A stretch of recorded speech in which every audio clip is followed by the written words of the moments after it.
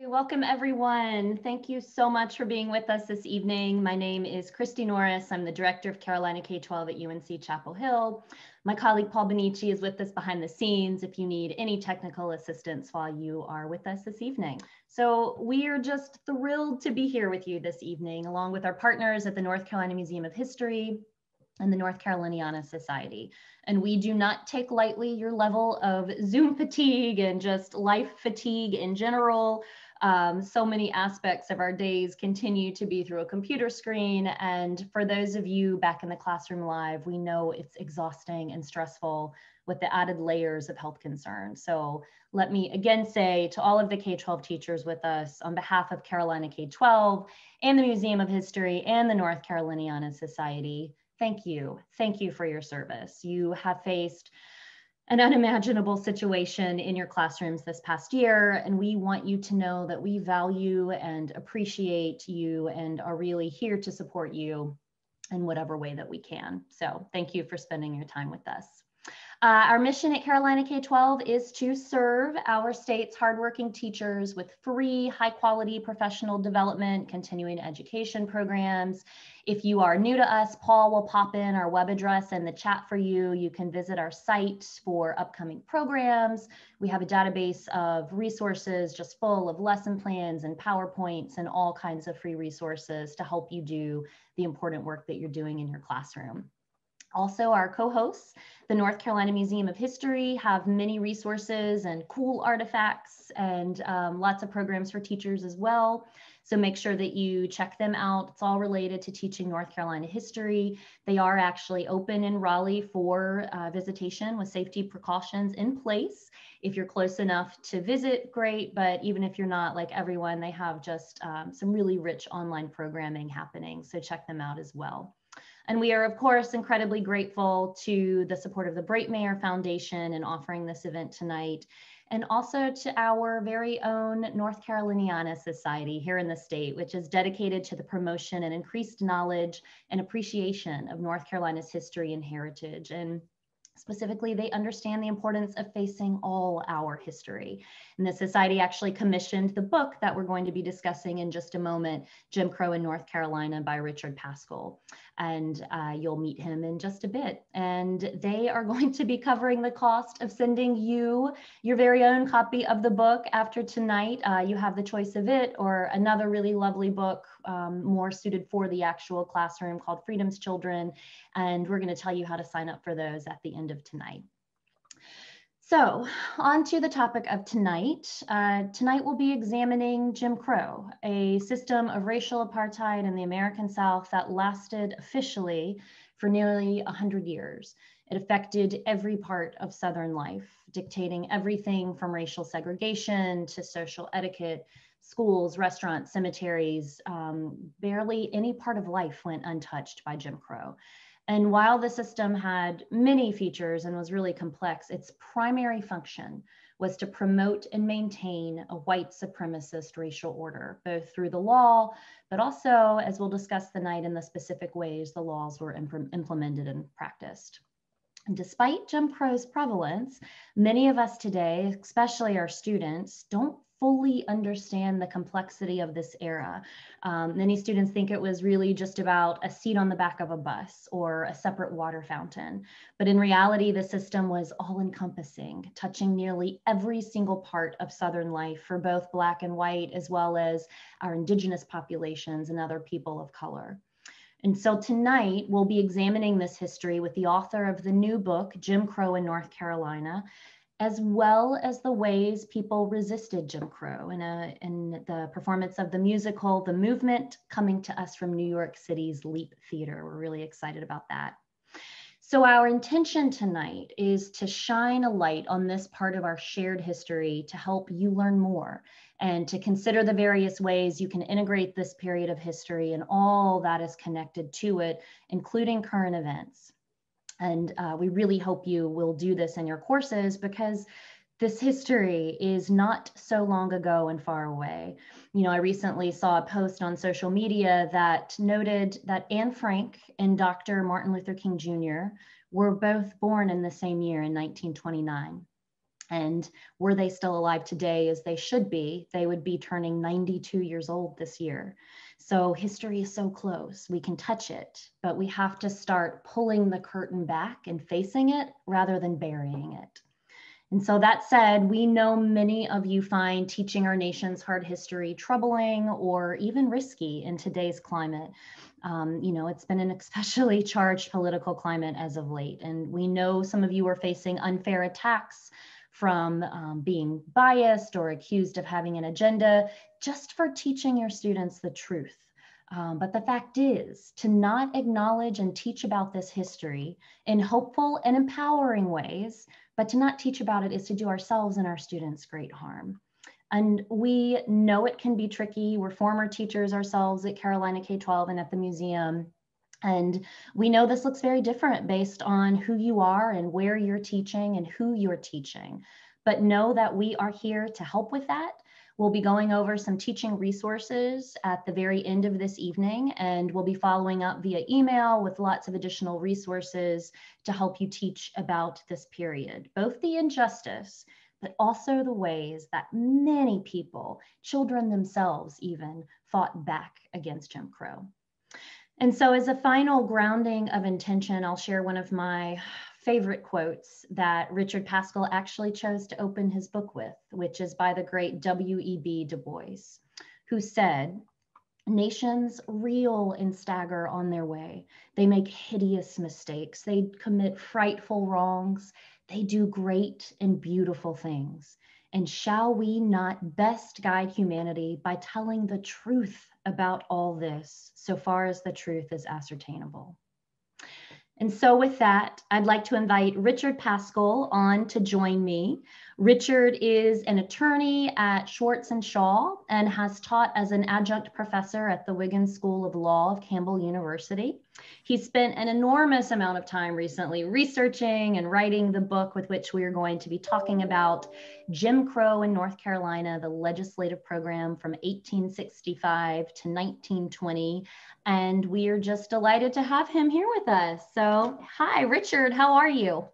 Christy, how are you? Good, good. Are you hanging in there? I see that you're in your office, so you're out and about a little bit.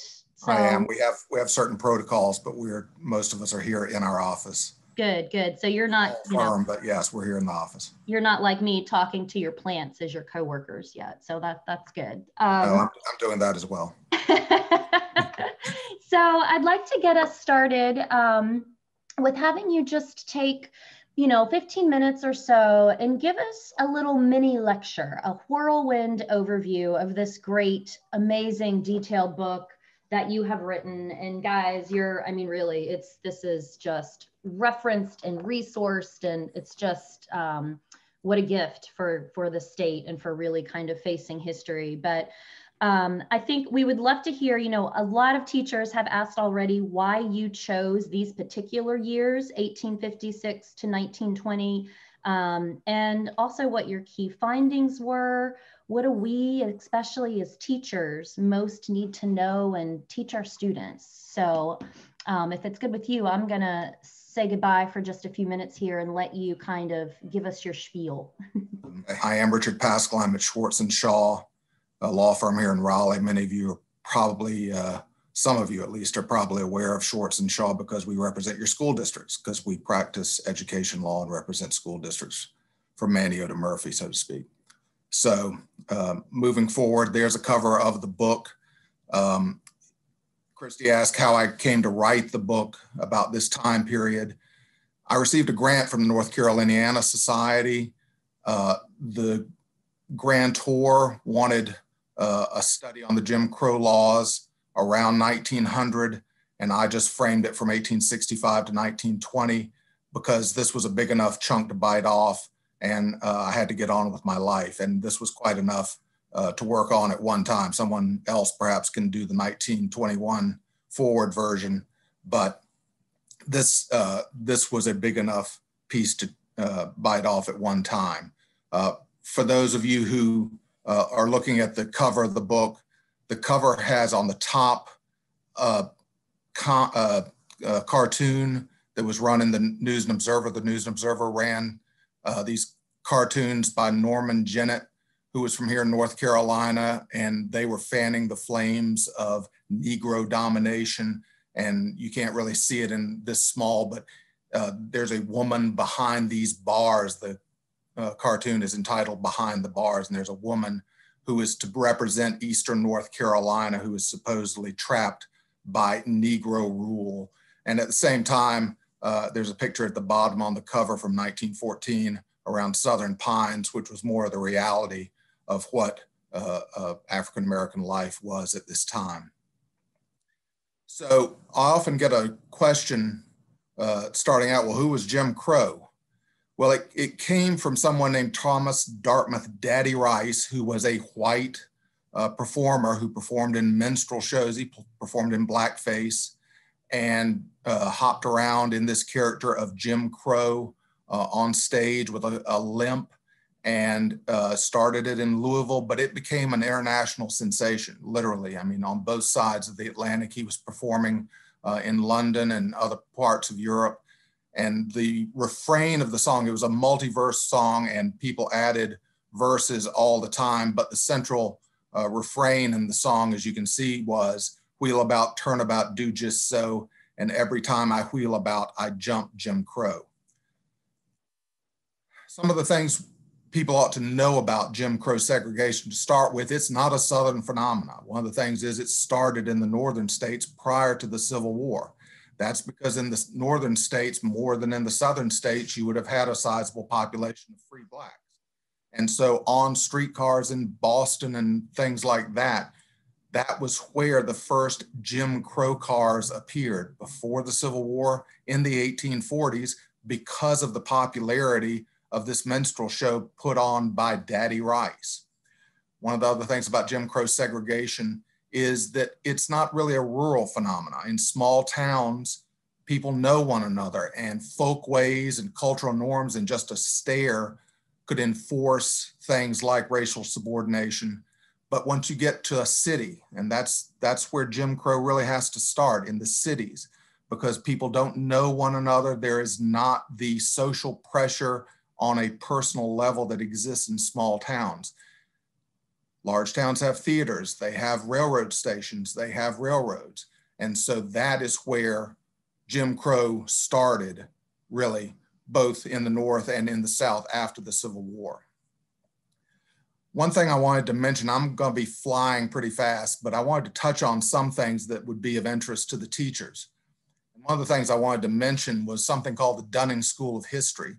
And it was by a teacher, a professor at Columbia University in New York named William Archibald Dunning, who had a fleet of graduate students who went across the country and taught at different universities and spread the gospel that Reconstruction was this awful period in American history. And one of the people who was one of his students was Joseph Hamilton, who the until very recently the history department building at Chapel Hill was named for. He became a professor at Chapel Hill. He started the Southern Historical Collection but at the same time, he put forward a view, and Dunning put forward a view of reconstruction, of misrule, of corruption, and uh, of these terms about scalawags and carpetbaggers that we often hear associated with this awful period of reconstruction, so to speak. And that was a viewpoint that corrupted uh, the textbooks of this country and was a it was the way that Reconstruction was taught for generations until really the middle of the 20th century. That did you often even see the Dunning School viewpoint starting to recede? And it was because, as, as you see in the quote I have on uh, the page from Dunning, that the South was transformed in the support of a social and political system in which all of the forces that made for civilization were dominated by a mass of barbarous freedmen that was really the viewpoint about Reconstruction for a long time. And it's taken a lot of effort by a lot of scholars over the years to really change that viewpoint. Some of you may have read C. Van Woodward's The Strange Career of Jim Crow. It first came out in 1955 and went through several revisions. I read it as an undergraduate at Chapel Hill. Woodward was a historian of the South, and in this book, he made two principal arguments about history and really modern uh, American race history, in some sense, starts with this book. It was a revisionist book about what happened because in 1955, when the book came out, that is at the time of Brown versus Board of Education. There were a lot of people who thought racial segregation, well, this is always the way it's been. And Woodward went back to show that that's not the case, that Jim Crow discrimination had not always existed in the American South. During slavery, you don't need to have Jim Crow discrimination because often, you know, the, there were no free blacks to ride streetcars, railroads, and the like. And they, they weren't going to theaters except as accompanying their owners. But the second point that Woodward made was that in the years after the Civil War, there were forgotten alternatives, that there had been a fluidity in race relations that differed from the legal regime that Woodward saw as being imposed around 1900. So just to go over some of the details of post-Civil War history in North Carolina. The war stops in 1865. The, uh, there's first a period of what's called presidential reconstruction, but things change. That's the period of Andrew Johnson uh, creating a system for trying to reintegrate the southern states into the Union. And but given what happened with Johnson, things and events quickly overtook him. And so we went, entered into a period of what's called congressional reconstruction, and that happened starting in March of 1867 with the passage of a statute by Congress that imposed uh, the true regime of military reconstruction that we think of when we think of that term.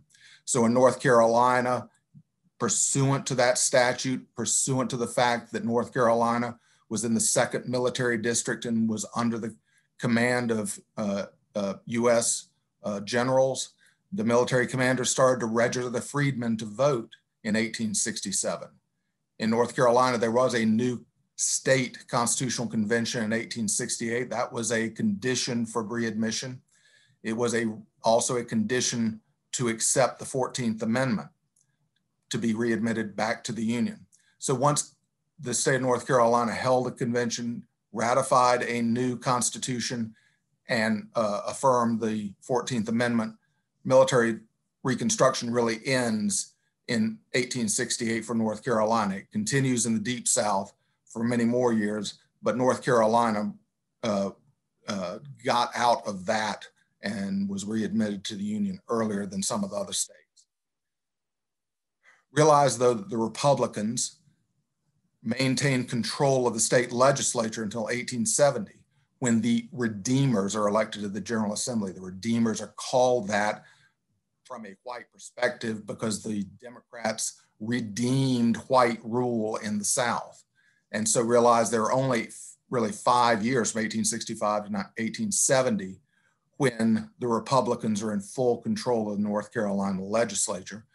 But there were, were Republican governors even after 1870. And so full redemption doesn't come until Zebulon Vance, another Democrat, was elected governor in 1876. So some of the things that make North Carolina unique, Republicans maintained political strength in North Carolina in a way they didn't in virtually any other Southern state. The black vote was largely Republican, and I'm going to speak, be speaking of, of black and use the terms colored and Negro because some of these statutes are going to be using those terms.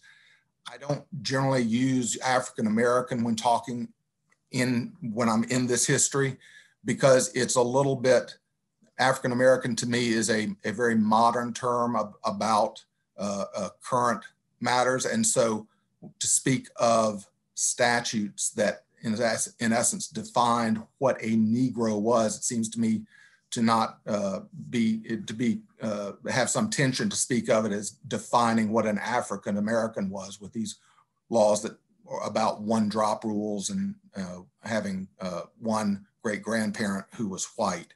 So I will be speaking in those kind of terms, and you should just be aware of that. But blacks were joined the party of Lincoln. They were mainly Republicans. And so in the majority black counties in the eastern part of the state, Wayne, Wilson, that whole stretch, what was the black second congressional district, that was a very strong Republican area. There was also a very strong Republican area in the western part of the state where many whites, there wasn't a plantation system of farms. The farms tended to be smaller. There weren't as many slaves in the western mountainous parts of the state, and the mountainous parts of the state remained to some degree unionist throughout the war. And so that was another stronghold. And so between those two power centers, Republicans maintained political viability throughout the 1800s all the way up to 1900 in North Carolina in a way they didn't in other states. In 1890s, though, another party, third party grows, and that's the Populist Party.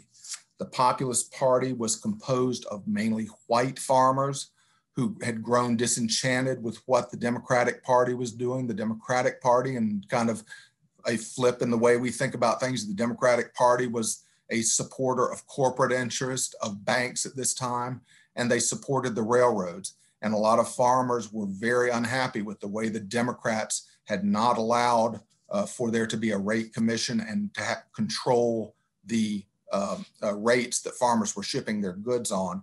And so that discontent with the Democrats turned into the Populist Party. And so what happens in 1890s, there's a really bad economic depression in the early part of that decade. And between the Republican and Populist parties, they take back in 1894 through a fusion of the two parties. There wasn't a fusion party. The Republicans, Populist parties just agreed not to run against one another and to support each other's candidates in certain locations and on the state ticket. But there was a fusion of the Republican and Populist parties that won back the legislature in 1894 from the Democrats. So, and then in 1896, they won the trifecta when Republican Daniel Russell wins the governorship.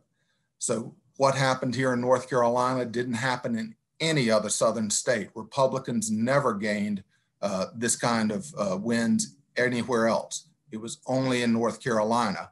But in North Carolina, what happened was a whiplash because of the Democratic Party. They conducted what were, have been termed the white supremacy campaigns of 1898 and 1900. They ran on the race card. They spread fears about Negro domination, and that's where the cover of the book comes from there was never Negro domination. There were a handful of Black members of the North Carolina General Assembly. There were some deputy sheriffs. There were some local officials, magistrates, but there was no Black sheriff in North Carolina. There was no Black member of any county commission in the state. And so to, you know, create this fake history false news that uh, that uh, blacks were running the show somehow uh, was a, a real feat for the Democrats to pull off, but they did it. They essentially drew the line and said, which side are you supporting, blacks or your own, your own race? And to whites, that really resonated uh, for, for whatever reason. And they, and they were falsehoods. Like I said, there were only a handful of blacks in the General Assembly. That wasn't a huge voting block, and they didn't control any uh, of the local centers of power either.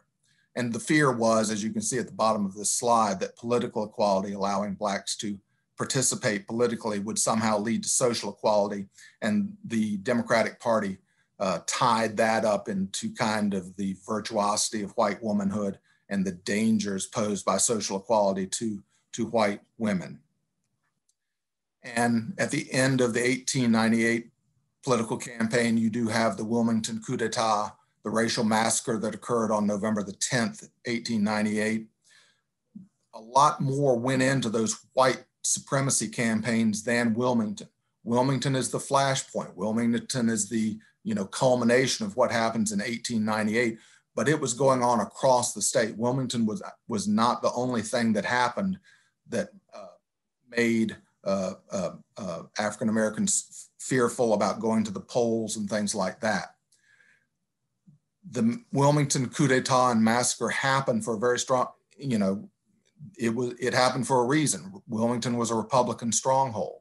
It had a very high uh, black population, and as a result, it had uh, mostly Republican members uh, on local uh, boards and on the local commissions and in the legislature. Wilmington was the largest city at, at this time. Wilmington was the largest city in the state. There was a meeting the morning after the election, so the election already happens. You know, whites take back the, you know, white Democrats take back the General Assembly, but the day after they have a meeting in downtown Wilmington, they demand the resignations of the chief of police and the mayor who were not on the ballot. They weren't running for anything. Those offices weren't up until the next year, but they asked for the resignations of those white Republicans. Violence breaks out the next morning. This is a condensation of a very complex set of events. But on November the 10th, it starts at the Daily Record newspaper, which was a black newspaper in the city. There's a whole uh, history with that and what happened, and the owner of that paper, Alex Manly, But they burn that paper, and then the white groups start spreading out across the city. We ultimately don't know how many people were killed. No whites were killed. We know that 22 individual blacks were known dead, and nine blacks were known to be wounded, but whose fate were unknown those numbers are an absolute floor, but it's not the ceiling. We have no real idea how many ultimately died, but those were uh, uh, from the uh, commission study that was done. Those were numbers where multiple sources, multiple newspaper stories in different newspapers recorded that an individual bodies was in an individual's body was located here, another body was at this intersection of streets. And so that is these were known, but how many ultimately were killed, we'll, we'll never know. It did result in the resignations of the city alderman and the mayor and the chief of police. It caused a lot of the black families to flee out of town. Some of them, some uh, uh, black businessmen and office holders were put on trains to the north and told never to come back. And so you see the next day's paper. This this is from the News and Observer Friday morning, November the 11th, and it has a picture of Alfred Moore Waddell, who was one of the leaders of the coup.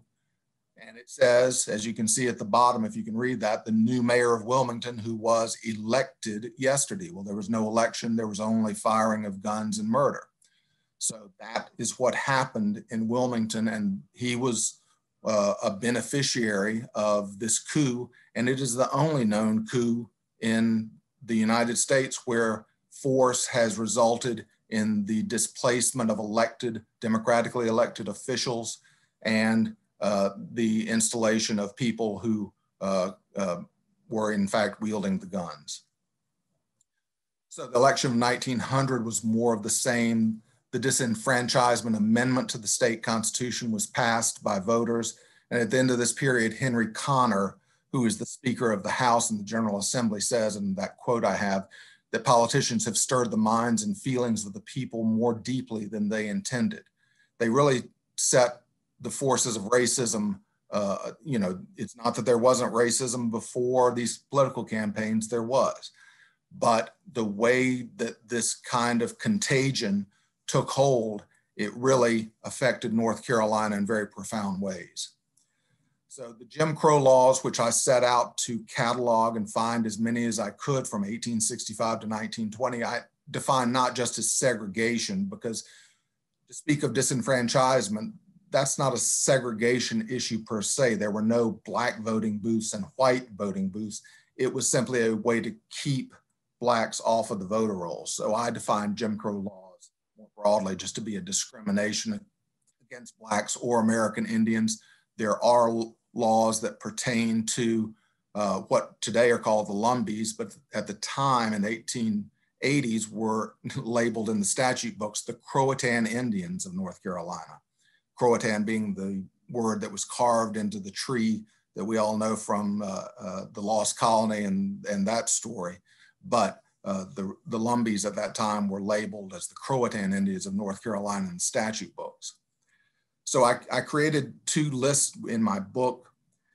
In the discriminatory list, though, I don't include a lot of segregation laws early on in, in that list. And why was because segregation, and this is a very hard thing to kind of understand the mindset, but segregation was not a per se evil, even among the blacks uh, at right after the Civil War.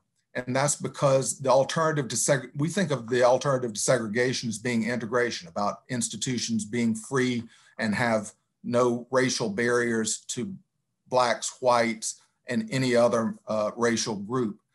But the alternative to segregation in, in 1870 was not integration, it was total exclusion. And so even Black politicians, Black leaders favored segregated hospitals, segregated asylums, separating uh, segregated schools, because that was a half loaf solution for many. It was better than nothing. And so it, you know, just to be honest, I don't think the white population would have accepted desegregated schools, integrated schools in 1870, 1875. And so segregated schools were better than having no schools at all, even if they were poor, poorly funded. So one of the things I want to point out is that there were a lot of laws during this time that were, you know, to our modern reading doesn't look all that discriminatory, but they were enforced in different ways. And one of the points I want to make is you've heard the old saw that, well, you know, I mean, because this this attitude is out there that that the blacks were made free in 1865 and they've been on a level playing field ever since. And that's just not true. The ways even neutrally sounding laws were applied were unfair. So this vagrancy law about people who are wandering around with no apparent means of subsistence is guilty of a misdemeanor. Well, after slavery ended, there were a lot of people, a lot of the freedmen, a lot of the uh, freed women traveling about the South trying to reunite families. They'd been split up. They were trying to travel, find their families. They were just trying to travel also just because they didn't want to be on the same plantation, living with the same master. So there was a lot of travel. They didn't have employment. But if you went through a town and got picked up, you could be convicted for vagrancy. And so this allowed, in some sense, essentially slavery under a different guise. These people were put, as you can see, upon this is from the statute itself. Upon conviction, the court may fine or imprison him or both and sentence him to the workhouse for such time as the court may think fit. And so laws like that and apprenticeship laws were used against blacks to, in some sense, re-establish a form of slavery under less, uh, uh, uh, more neutral sounding kind of statutes. Also, in terms of there not being a level playing field, the legislatures in all the southern states after 1865 worked to weaken black political power where it existed. And one of these case studies is in here in North Carolina. What you see here is a picture of New Hanover County in 1874. As I said previously, Wilmington, New Hanover was a Republican stronghold. And it was a uh, stronghold because of the large black population in Wilmington. Well, what the white legislature, remember, it's been redeemed by 1874. The white legislature in Raleigh passes a law to split New Hanover. And you get in the next picture, this is from later in the 1800s, a picture of what happened. So the northern part of New Hanover County is cut off and made into Pender County which would allow for white power to come from that county and to pack all Republican black political power into the little sliver of New Hanover and Wilmington that is left. In addition to the state laws, there are also city ordinances. You see the city ordinance from Raleigh uh, segregating the cemeteries here in town.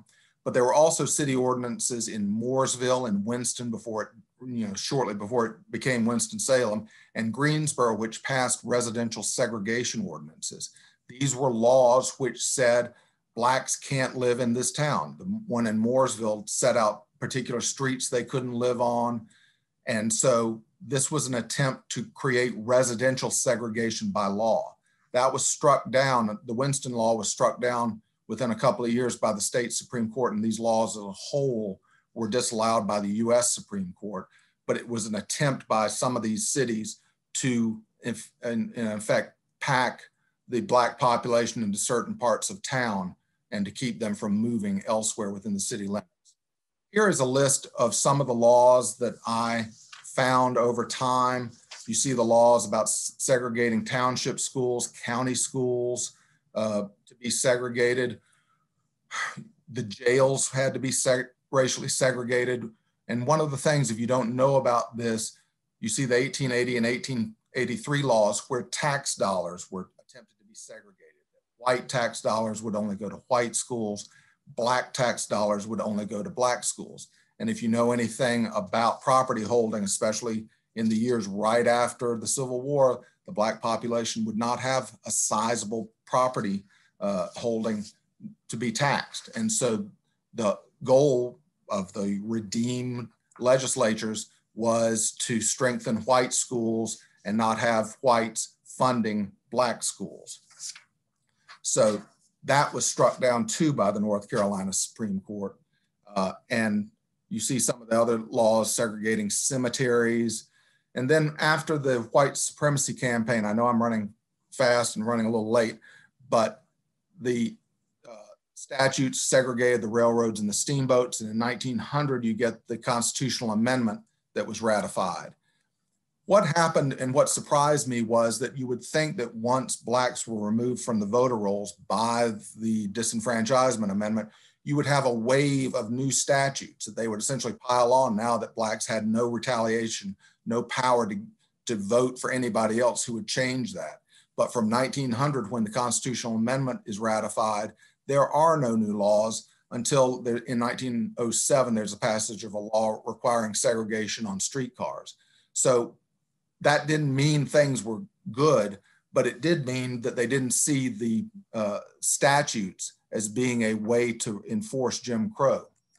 What happens is the laws that exist are being used in certain discriminatory ways. Again, I say that the society changed with the contagion of those white supremacy campaigns. If you look at the disenfranchisement amendment, here's the language from it that every person presenting himself for registration shall be able to read and write any section of the Constitution in the English language. Well, that seems pretty straightforward. Black voting had been very strong, especially relative to the other Southern states here in North Carolina. A scholar named Morgan Kousser, who was one of C. Vann Woodward's students at Yale, ran these numbers and came up with very complex statistical studies that showed the levels of Black voting in these gubernatorial elections up to 1896. And you can see it's quite high. It's quite high even for uh, 2020 uh, uh, numbers.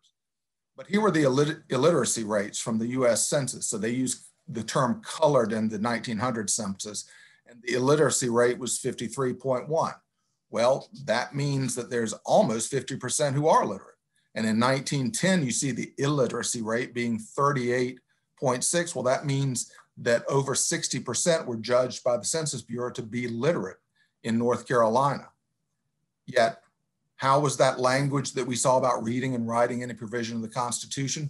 The result was that from Manteo to Murphy to every county, there weren't any outliers. Kousser finds that the effective voting rate in 1904 in the gubernatorial election for blacks is zero. That's not a rounding error. I mean, you, you could say that the Census Bureau doesn't know how to count literacy. Well, that may be true, but it's certainly not the case that zero blacks are being uh, uh, uh, zero blacks are literate in this state. And so it is very strange to me that there's no variance. It happens at one time. There is no county outlier, even in some of the eastern uh, counties where you have any kind of black participation. And so the text of the law doesn't matter there. Public school funding is the same. The public school funding laws remained unchanged after the white supremacy campaigns in 1900. Yet if you look at what happens, the operation of the law changes drastically. In 1896 to 1900, the poverty of, you know, North Carolina was a terrible funder of public schools back then. It was even worse than it is today, if that's hard to grasp. It was the worst in the country. And so uh, you see the numbers, which were not far off. But by 1910, you see a vast difference black per capita expenditures was a dollar and a half for blacks. For whites, it's well over twice that, $3.70. And so the conclusions I want you to take away from this was that there were discriminatory laws enacted starting in 1865, not later. The, the forgotten alternatives and all that stuff, there were statutes from the very get go after slavery ended. There was no new tidal wave, there was no tsunami of new statutes after the white supremacy campaigns. And the discrimination was taking place by the existing statutes and just through the operation, operation and interpretation of those laws. The number and existence of statutes does not create the full measure of the de jure discrimination. That's I'm, I'm talking about discrimination by government in North Carolina.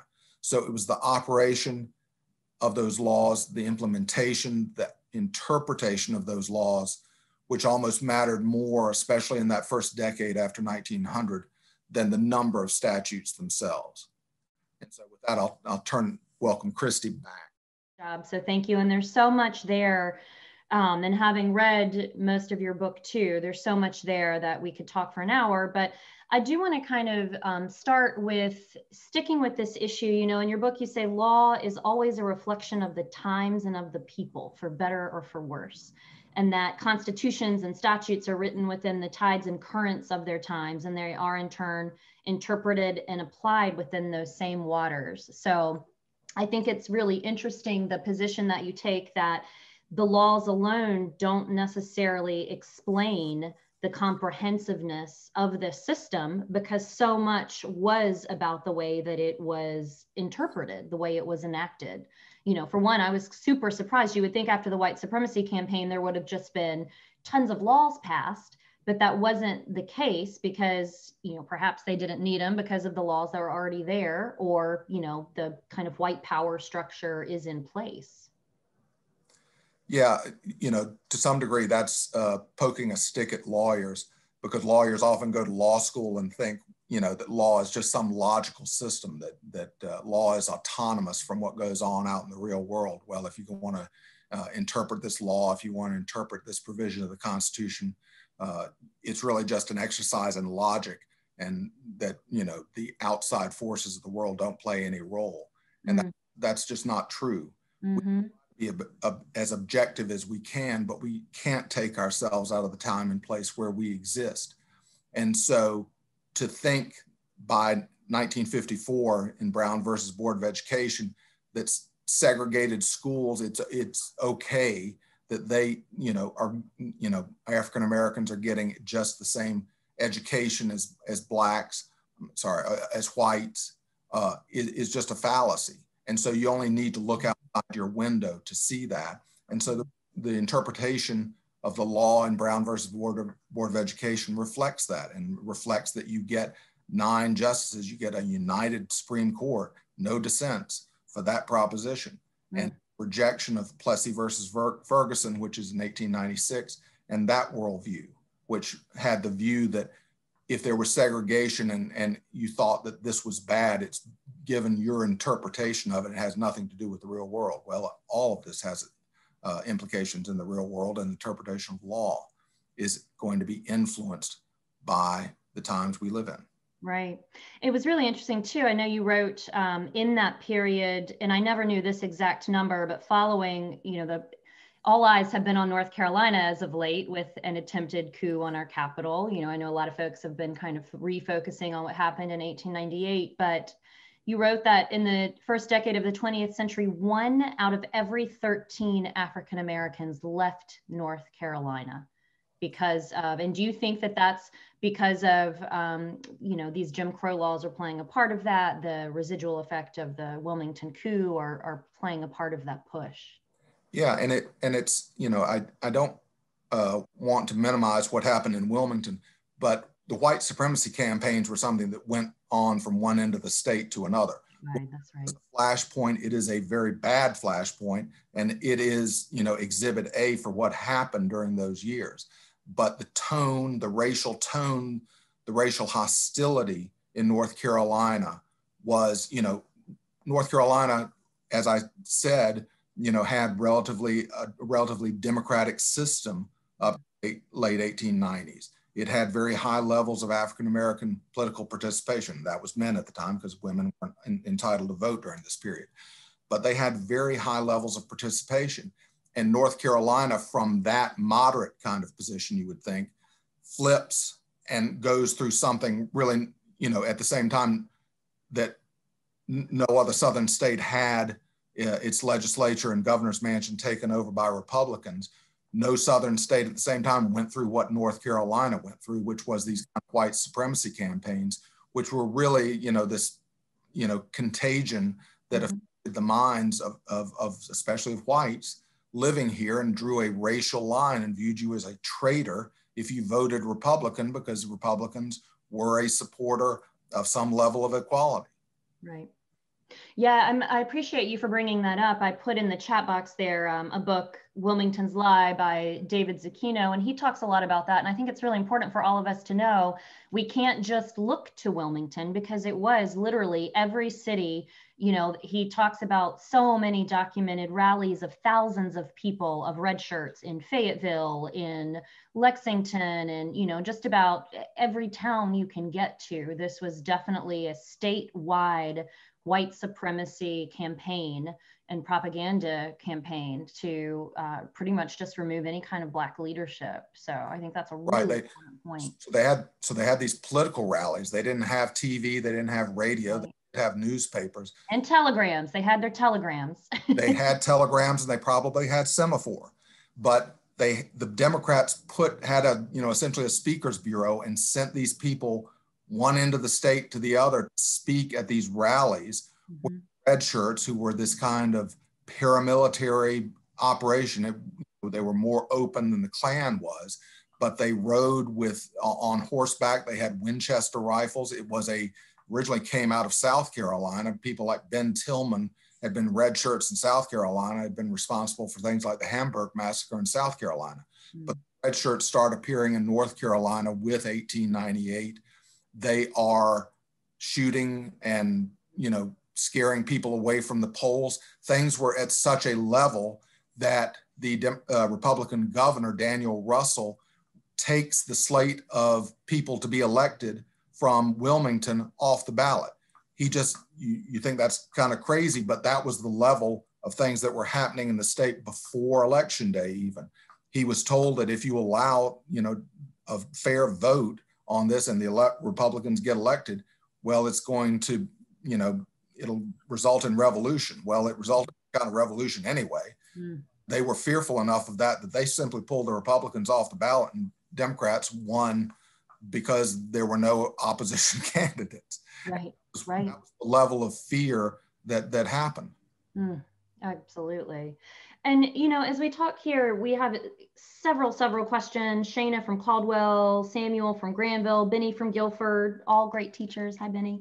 Um, a lot of folks are asking a similar question kind of thinking about North Carolina as a state and given the diversity of our state, you know, you have a very different world in the mountains, you know, in Jackson County than you do here in Chapel Hill than you do in, say, Lumberton. And so, would you say that Jim Crow was practiced and enforced differently in the various regions of the state? I know you touched on this a little bit when you said Jim Crow kind of was born in the cities because you know that's where your streetcars are and things like that. But is there anything that came up in your research regarding kind of um, whether it was unanimous or or kind of different just based on where you were? No it, it would vary over time. One of the things to keep in mind about north carolina was north carolina was one of the most unurban states in the union at this time. It did not have large like you know given that Wilmington was the largest city, you know, Charlotte had not boomed, Greensboro had really not boomed, Raleigh had not boomed at that time. So there are electric streetcars in most other states. In North Carolina, is get streetcars. You don't need to worry about segregation on streetcars until you get streetcars. Right. So uh, you have, especially in, you, so you see a lot of variation.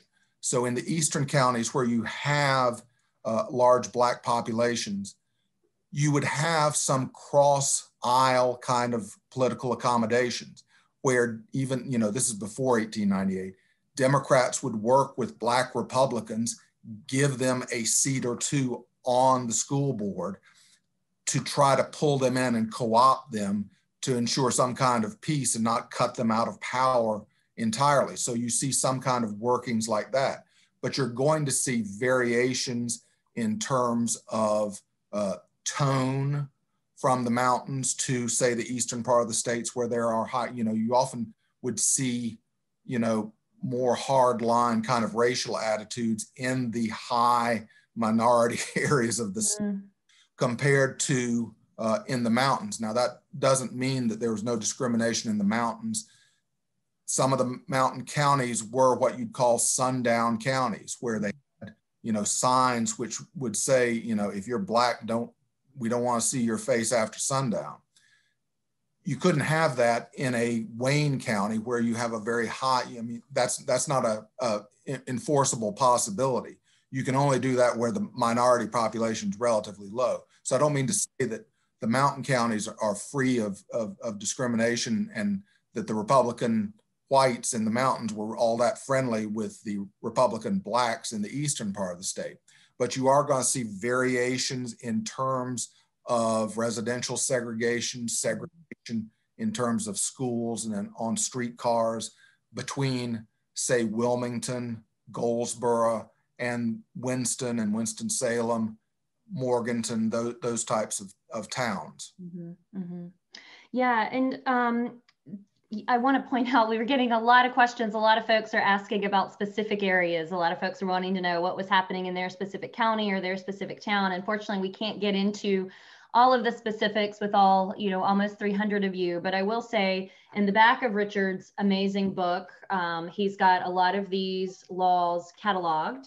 And then also later on, we're going to be looking at the online site on the books where you can enter and search by your particular area. So just uh, we'll show you how to do that kind of offline on your own because I know I think that's really compelling history for students too when you talk about what was happening right in your very town or your very county. Um, like I said earlier, that's history you can touch. So we will show you how to be able to do that work. Um, Richard, one thing I wanted to ask you, um, what about gender? How does gender weave into the history of Jim Crow in North Carolina? Gender is a really interesting kind of uh, uh, feature of this. I touched on it a little bit. Some of the political rhetoric that was being thrown around by the Democrats in 1898 and 1900 centered on this kind of preservation of white womanhood, this danger that, well, if we allow blacks into the political system, then we're going to ultimately have social equality. And if you're going to have social equality, you're going to have miscegenation. That kind of preservation of this kind of virginal white womanhood is is everywhere. It mm-hmm.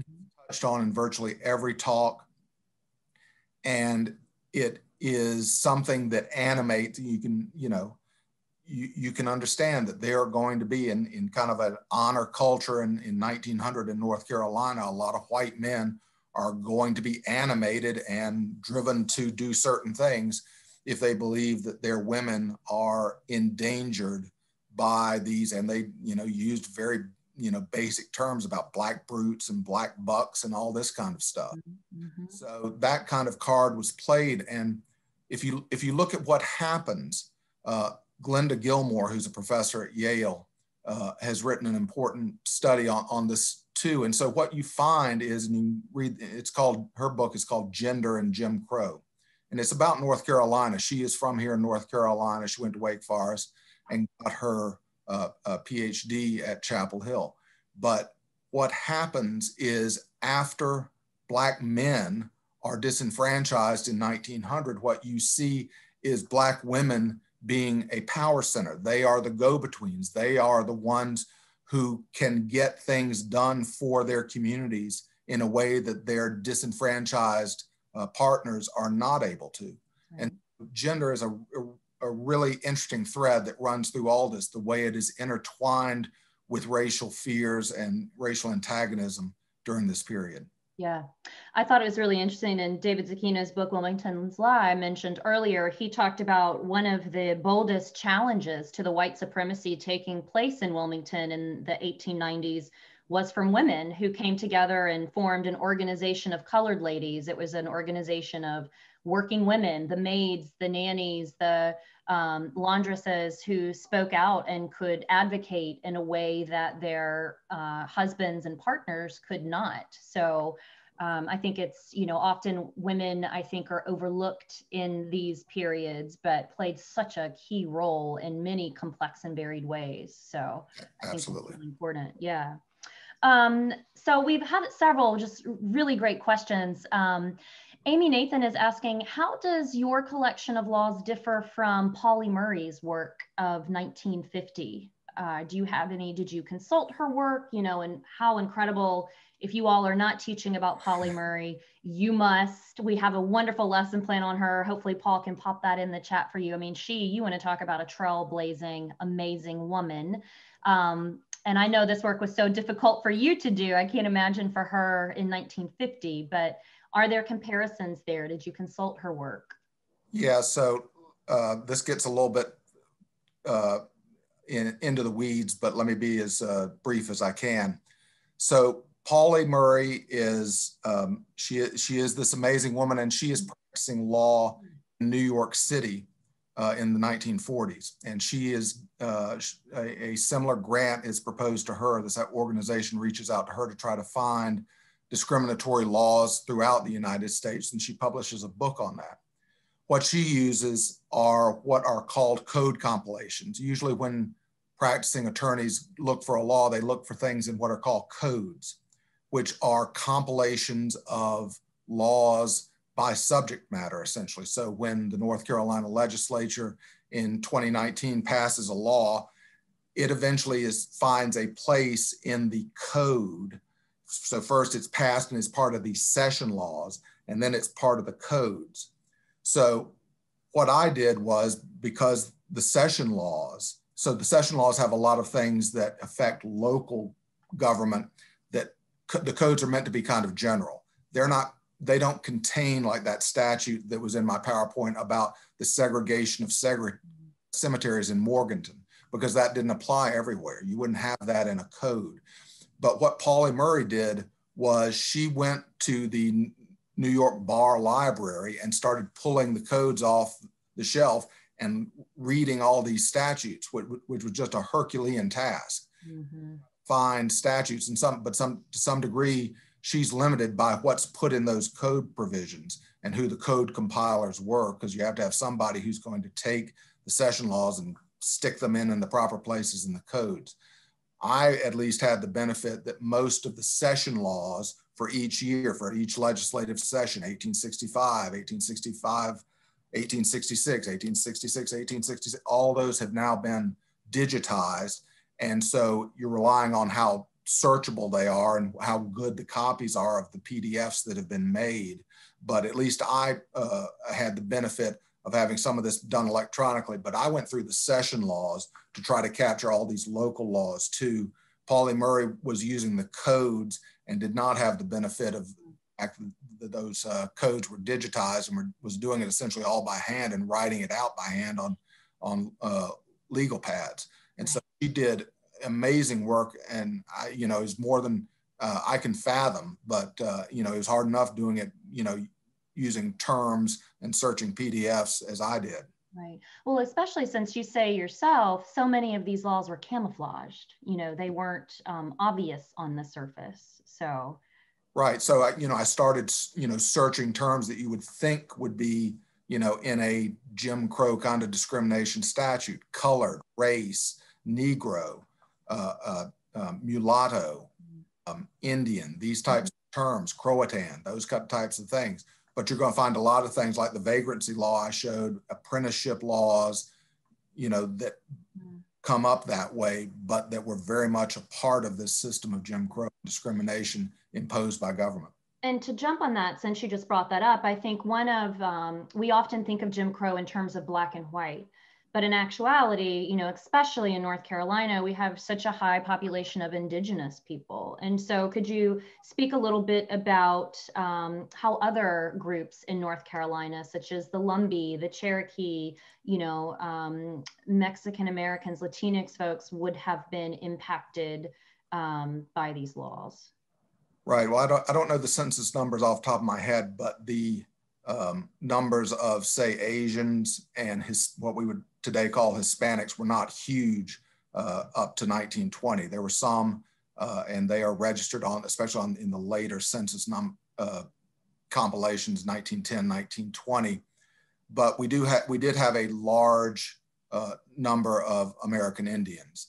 Mm. Eastern Band of Cherokees had their own kind of uh, they they had their own system of schools.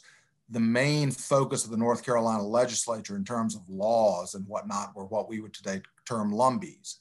Mm-hmm. And so in the 1880s, you start seeing laws regarding the Croatan Indians of North Carolina, which were their terminology for what we would today term the lumbees. So in 1885, you have a statute which, like the statutes that defined what a Negro was, in 1885, you have a statute that defines what a uh, Croatan Indian was. Mm-hmm. And it also said that blacks were not allowed in, in the schools for the Croatan Indians. So you had three different sets of schools down in Robeson County and, and anywhere you had a, a sizable. And you had you had uh, Croatan Indians of North Carolina in the surrounding counties up into Sampson and all, in all those counties. So you see some laws in the 1880s and in 1887, there's a law prohibiting marriage between blacks and the Croatan Indians of North Carolina. And eventually you start seeing statutes that will set aside, again, this is kind of segregation stuff.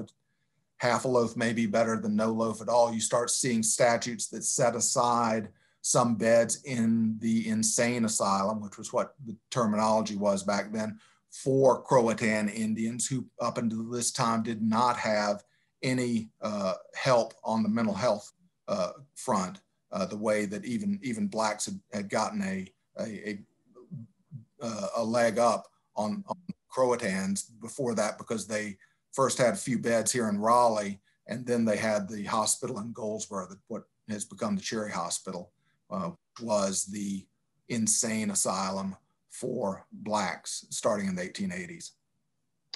Um, this is an excellent question that's come in from Miss Best, um, and she wants to know when eugenics laws in North Carolina came into play, and, in, and is there a connection between laws related to eugenics and laws related to Jim Crow. For all the teachers listening in, we also have a really comprehensive lesson plan on North Carolina's eugenics program. It is probably one of the most hidden aspects of our state's history. Hopefully, Paul can pop that in the chat box for you too. Um, but can you speak to that? Was there a, a connection, a relationship between those laws? There, there's not laws on eugenics in the period I studied. You, you do have the what is a Negro kind of definitional kind of laws. But a lot of, you know, and, and again, I'm, I'm starting to get out of my depth, but there, there weren't statutes uh, create, and you know, that's, that's going to be the case for a lot of things. When we speak about water fountains, about mm-hmm. theaters with um, uh, the balconies being um, uh, reserved for blacks only, often there was not statutes or city ordinances that that was the theater owner and he was simply going by societal forces to do that. Now, the eugenics program here in North Carolina does obviously have a government component, but I don't know if there's a statute. It's after 1920 that that statute comes mm-hmm. in. Mm-hmm. But this is a this is a period. I mean, the, to me, the eugenics movement really you know starts building uh, strength in the 1890s and the, this social Darwinism, and so there is um, um, some um, belief about breeding and that the purity of genes and, and stuff like that. But to my knowledge, I, I did not discover a statute granting localities power about sterilization and things like that, at least right. 1920. And similar things, like there are a lot of Jim Crow laws that I don't get to in 1920. There's a statute later that segregates school books. You couldn't keep the white children's school books in the same place with the black children's school books. That's a statute, but it's after 1920. So I, I, I didn't never found anything with regard to eugenics specifically or giving any state agency the power to do that uh, that I know of in, in, right. research. Really just uh, horrific but important history. Paul put that link in the chat box there for you. It is related. Um, and one of the few times when you know reparations have actually been given by the state very minor reparations but reparations nonetheless um, i want to ask you richard you know so many teachers just given what's been happening in the world, especially just within the past month, are asking about the connection between this history that you've so diligently researched in today. Um, you know, you wrote on page 181 of your book that discrimination and subordination by government and governmental actors have left an undeniable footprint on America's history and that they cast a long shadow over the present day. Can you explain what you mean by that? Maybe offer some examples? Sure. So um, you're going to see in, in a lot of what's what I talk about, school funding, for example, uh, the absence of blacks from jury pools, going to see those ripples take place for generations. So if you have poorly funded black schools in 1910, you're going to be educating the black children in a way that is going to impact their earning power, their ability to get certain jobs for generations. And so th- those kind of ripples take place over and over. It's same place in, in the jury pools. If you're going to essentially have all white jury pools, guess what? You're, you're going to have a discriminatory kind of prosecutorial system where you do are going to have few checks on the uh, conviction of black defendants in, in a way that a mixed jury might put a break on that. You're going to see um, uh, a greater rate of incarceration, even coming out of, we talk about mass incarceration today, but you're going to see, you know, central prison and the chain gang and the, the work release kind of, not work release, but the, the, the fund, the funded hiring of inmates out of central prison, which was again another almost kind of essentially slavery type of, of system, which allowed uh, railroads and whatever to buy these workers and to treat them terribly. Many died in, in the awful work that they did and created a, a similar system, you know, not, not all that different from slavery. But any law you're going to see impacts. And one of the things I talk about a little bit in the book is the segregation, residential segregation that came out of the New Deal. Because one of the things that was created in the New Deal was the Federal Housing Administration. And the Federal Housing Administration has done a lot of good. It uh, did not loan money, but it guaranteed loans for a wide swath of American people. But at the same time, it did that, it imposed regulations on how those loans were to be made. And it disfavored loans to houses in Black areas of town. It benefited the suburbs and the white sections of town in certain ways.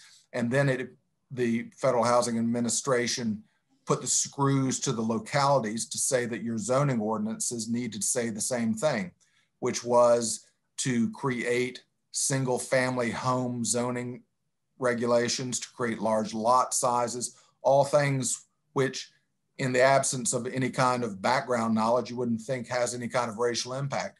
But by not allowing multifamily kind of housing, duplexes, triplexes, apartment complexes, you are weeding out uh, uh, potentially minority communities that would live in suburbs um, are, are all over this country. And so those rules have had a ripple effect. We such laws would be struck down today as being uncon- unquestionably unconstitutional. But the ripple effects of that segregated uh, residential system for financing houses and housing loans, mortgages, you know, you can see it in what has, has happened and how the cities of, of this country exist. You know, the, the interstates, you know, Kevin Kruse has an important book about Atlanta the you know the crazy track that the interstate highways took in Atlanta was wasn't you know out of the blue. It was because they went through the black neighborhoods because that was where they bought the the land right. and placed those communities. And oh, so we have that even here in North Carolina, right through yeah. Durham's beautiful Hayti community. They took Highway 147 and just turned that community upside down. It was thriving. So to think that exactly, that and so you'll you'll see this in all kinds of ways in Durham. Right 147 with school placement, where schools were located. What was the uh, white school placed here? Was the black school placed here? All those kind of decisions which for a long time we kind of thought of as well, you know, it's just that was the decision that was made and race didn't play any part. Well, now, you know, really with open eyes, we can see that mm-hmm. race did play a part in, in all these decisions about siting of schools, siting of interstates and the like. Right.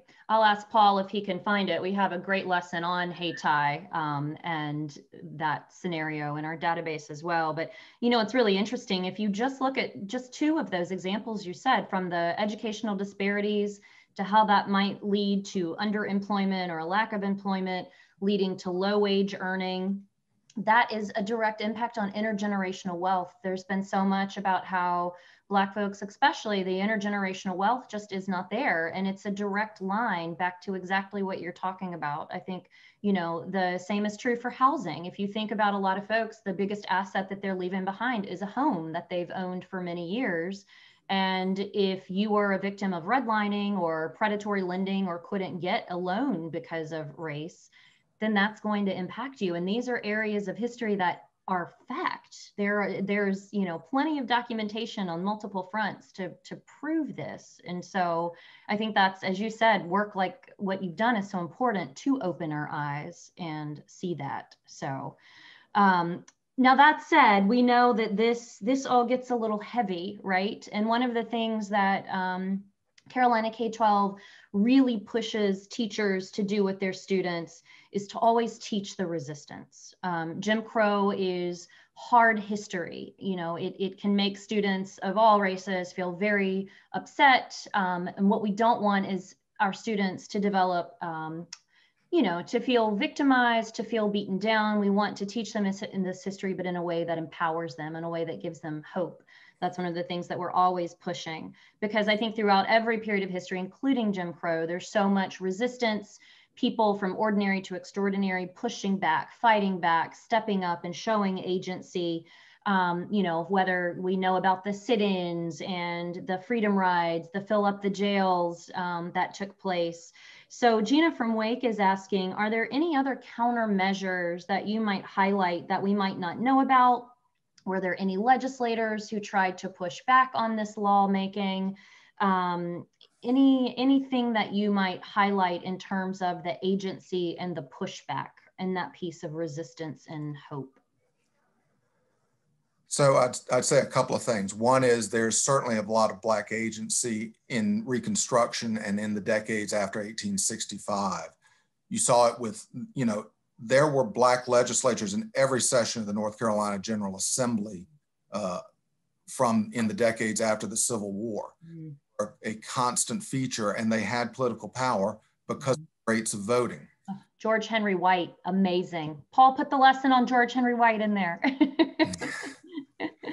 so, yeah. so one of one of the things was the the black population in eastern North Carolina was large enough to we would today term it packing the district, but they, they packed uh, the black areas black one mm-hmm. congressional district, and that became what was termed the black 2nd mm-hmm.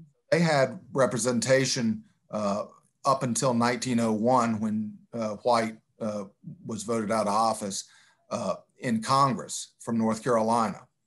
Now, that said, after 1898 and 1900, black agency becomes more constrained but I'll, I'll, say I'll say two one thing about black agency and other thing about um, dissenting voices. When there is the 1907 law which imposes streetcar segregation by race, there is a pushback, and there is in certain towns, and this included Wilmington, a boycott movement on the plaque of, on the part of black residents to not ride on the segregated streetcars now, this this wasn't, you know, 1950s, 1960s. It ultimately, you know, did not result in the desegregation of the streetcars, but it was an effort to point out that we don't like these kind of laws. We don't like being put in a particular part of the streetcar. And most of the streetcar, you know, one of the things to say about all this is on the railroads and the streetcars, these streetcar companies, the railroads didn't want these Jim Crow laws. They they really fought, and it's really kind of amazing that they you know they put up fights in the legislature tooth and nail to try not to have these Jim Crow laws. And you think, well, why? They were, you know, white corporations. Why do they care? Well, they're the ones who are on the front lines trying to enforce this. So they are the ones who are having to, the railroads having to run an extra car for the black passengers, which cost more money. You had to buy the car, you had to fuel the engine to pull a heavier train. And it also put you on the front lines, though, of people who bought tickets and having to confront them like, well, you look awfully white. I'm not sure you're full white. I'm getting your grill and you know say you got to move back to this other part of the car. The railroads didn't want that job, and they really did not want the. And the streetcars were the same way. They didn't want to have to enforce these kind of rules on you know paying customers, which they all you know you know they just didn't want a part in this. So there there were boycotts of streetcars after the streetcar laws passed in 1907 in some localities. Not every city in North Carolina had streetcars by 1907. And one thing I'll say about dissenters in, in politics, and this, this is a complicated area, and I, I don't want to be misunderstood for what I'm saying. But in, in, the, in terms of white politicians, there is, you know, undeniably a, an aspect where all of these people were white supremacists. There is nothing like a believer in full equality for the black population in 1900 and in, in the white population. It just, it doesn't exist. I, you know, if, if there is such a person, they're not writing about it. The uh, professor over at Duke, Bassett, who talks, uh, you know, makes some uh, overtures that, you know, black shouldn't be treated so well. Well, the News and Observer and Josephus Daniels put up this huge fight that he ought to be fired out of Duke for even speaking up in even a little way for the black, black population. So, but but Bassett, even in, in those kind of ways, was not a full on, you know, both races are equal. There was a pretty, you know, basic belief among whites that they were a superior race. And this goes back to the, you know, kind of racial genetic superiority that whites thought of themselves. But within this world, there are degrees of difference between Bassett and other people. And so there's a spectrum of white supremacy, some worse than others. And one thing, and again, I don't want to be misunderstood from what I've said, but one person who did, it, there's a more complex picture than what has existed up until this time is Charles Brantley Aycock. Mm. Aycock becomes governor in 1900 he is a white supremacist. There is no question. And he said some really god awful things on the stump. He was part of the Speaker's Bureau in 1898. Mm-hmm. He ran for governor in 1900. He believed in the supremacy of the white race. At the same time, when he became governor, that idea that I mentioned during my slideshow about segregating school tax dollars by race reared its head again the state Supreme Court had struck the statute down. But the legislature at the time that Aycock was governor wanted to make it a constitutional amendment and to have a North Carolina constitutional amendment which segregated tax dollars white for white schools, black for black schools.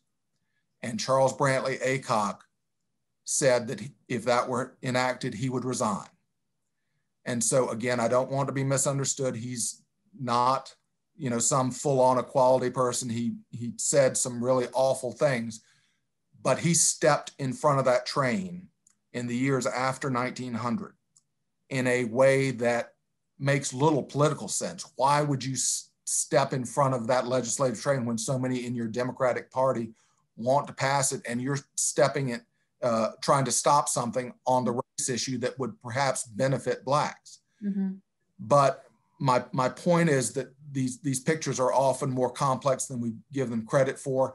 He knew that that would hurt black schools, and so he didn't believe that, you know, and he thought it would hurt the state long term. I mean, to some degree, you know, I don't want to overstate the case, but he was a all ships and are going to rise on the same tide. That we can't leave the black citizens fully behind and think that that's going to be okay for the state long term.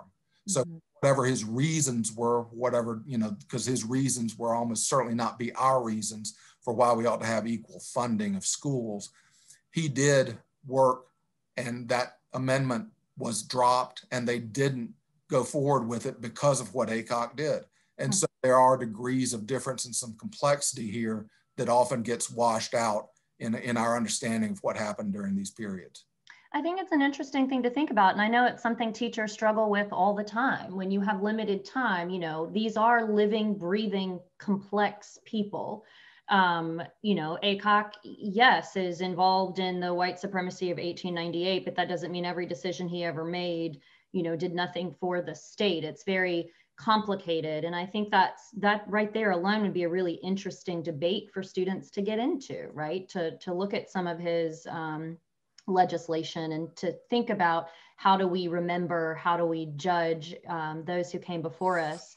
And I think with that too, you know, there's just such incredible folks from Ida B. Wells. Um, we have a lesson, maybe Paul will post in there for you guys um, during this time. North Carolina's own Abraham Galloway, Pauli Murray, Robert Williams. You know, we do have these um, Black folks and people of color who are really pushing back in such brave and courageous and effective ways. And I think making sure that we tell those stories while we talk about Jim Crow, you know, to know what they're fighting only makes their sacrifices even that much more compelling and great, right? So we really encourage teachers to do that. Um, I want to close. We're, of course, a little bit over time here, and um, I'm sure you'd like to go home at some point tonight, Richard, but I want to close with you actually with where I begin. I mentioned early on in my introduction that you actually opened your book with one of my most favorite quotes that um, I have been coming back to so much in the last months, uh, which was the W.B. Du Bois quote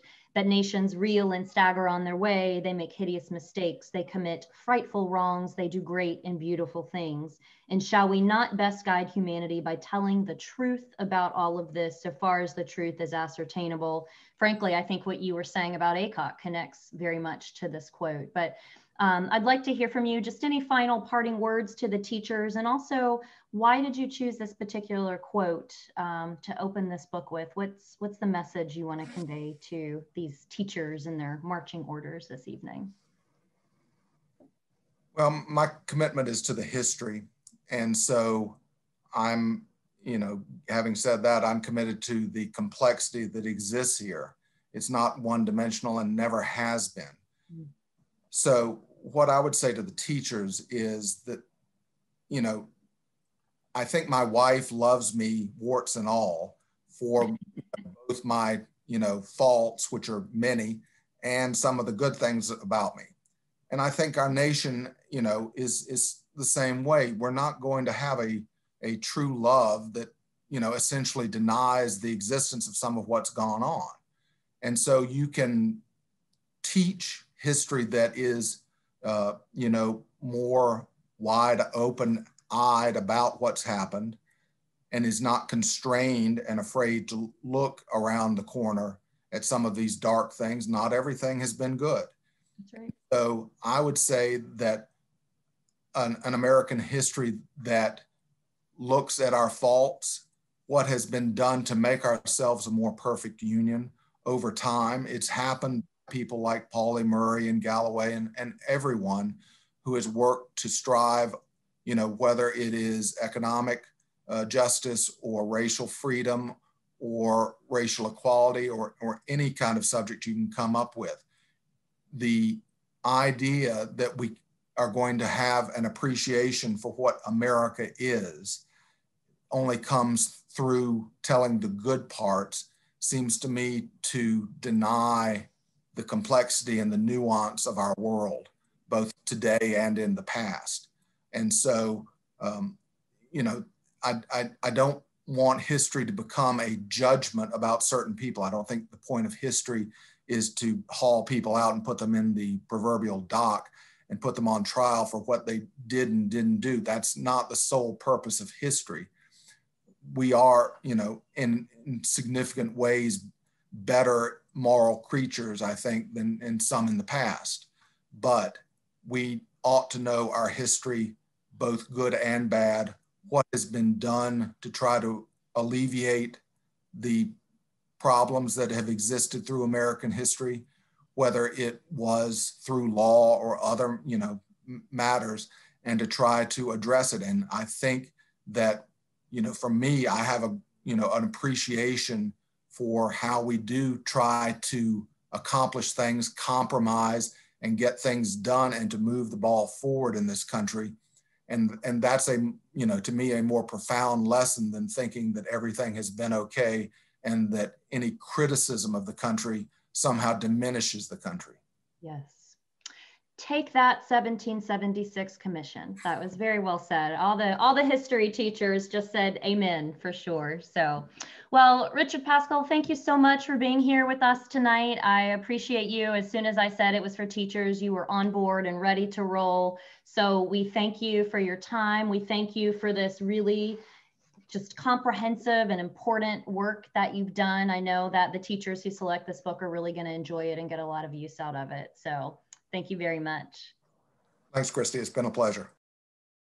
I would like to invite the incredible Noelle James on screen with us. Um, hi, Noelle. Good to see you.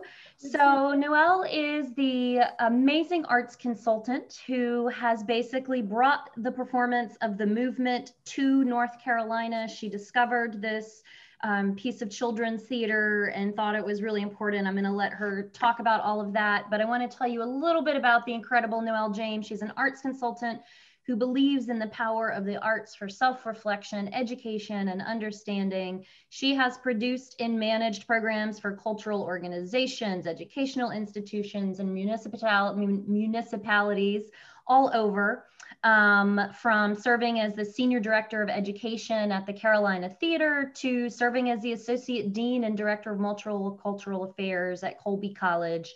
She's served on just about every arts board there is, so I'm not even going to go through that list. But I think what might be most important for you all to know is how much she supports and genuinely respects teachers and believes especially in teachers doing the type of work that we're talking about tonight, really kind of diving into the hard hidden history and shining light on it. So um, Noelle, like I said, is not only responsible for bringing the movement to North Carolina, even though tonight it's kind of different than what she originally envisioned last year, but she's also secured a link to the show for all of you. I want to make sure you saw that as part of the registration. Each of you will be given your own link so that you can show your students anytime this week through Sunday what you see tonight. Um, so maybe you'll want to use an excerpt of the show or the entire show. That's completely up to you, but that's going to be made available to you if you want that. And so, Noelle, thank you for your work and for being with us. We're happy to have you here. And I wanted you to just take a minute and tell us, um, you know, I know, like I said, this looks a lot different than what you initially envisioned, but what was it about this show that caught your attention and made you feel that it's important for students and teachers alike in North Carolina to witness? Well, going back to what um, was stated earlier is about the complexity of our history. Mm. And because I've lived so much of it, because I'm such an old person, that I was unaware, even though I was eight years old um, during the march, that children played such a significant role during the resistance. So I think back in my mind, I was aware of that, but then to see it um, really brought it home that there's so many different elements of our history that just you put it aside because you can't imagine that children would be in the forefront of resistance. Yeah. And so when I saw this production in 2019 at the National Black Theater Festival, I hope everyone has an opportunity to see it in Winston-Salem. It's absolutely unbelievable in terms of the artists, you would probably recognize a number of the actors that come to town to participate in stage readings of new works. But most importantly, it's an opportunity to see new works and to hear Phylicia Rashad in a whole different, um, you know, environment. And so the reason I wanted to do this, one, it's very good production I forgot that the New York Theater Festival in 2019 also awarded this movement, an a cappella musical, not only best choreography, best musical, and also best director. And so oh. that tells you something. Yeah, and, and, we're going to meet her after the show here. Yes, you will. So I would say the main thing is the more information we find out, the more helpful it would be for us to share the whole complexity of it. Right, right. And even tonight, I was surprised and reminded how many people work so hard to create segregation, the number of laws, and the amount of money. So imagine mm. if we all work together and put all those resources for equality and social yeah. justice, our conversation be entirely different. Yes. yes. Anyway, so I also am a believer of the arts. And when you have these difficult conversations, one way to open up those discussions is to have a reference point. Yeah. So that's why I was just tickled when Christy asked me, you know, what's happening? Do you have anything going on that could possibly fit? So here we are. I'm very excited about this. What you will be seeing is uh, a virtual, I call it a virtual field trip.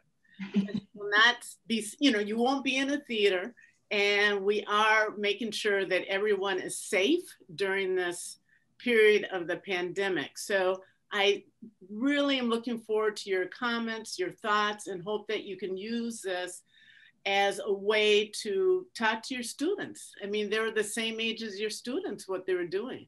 Yeah, yeah. Yeah.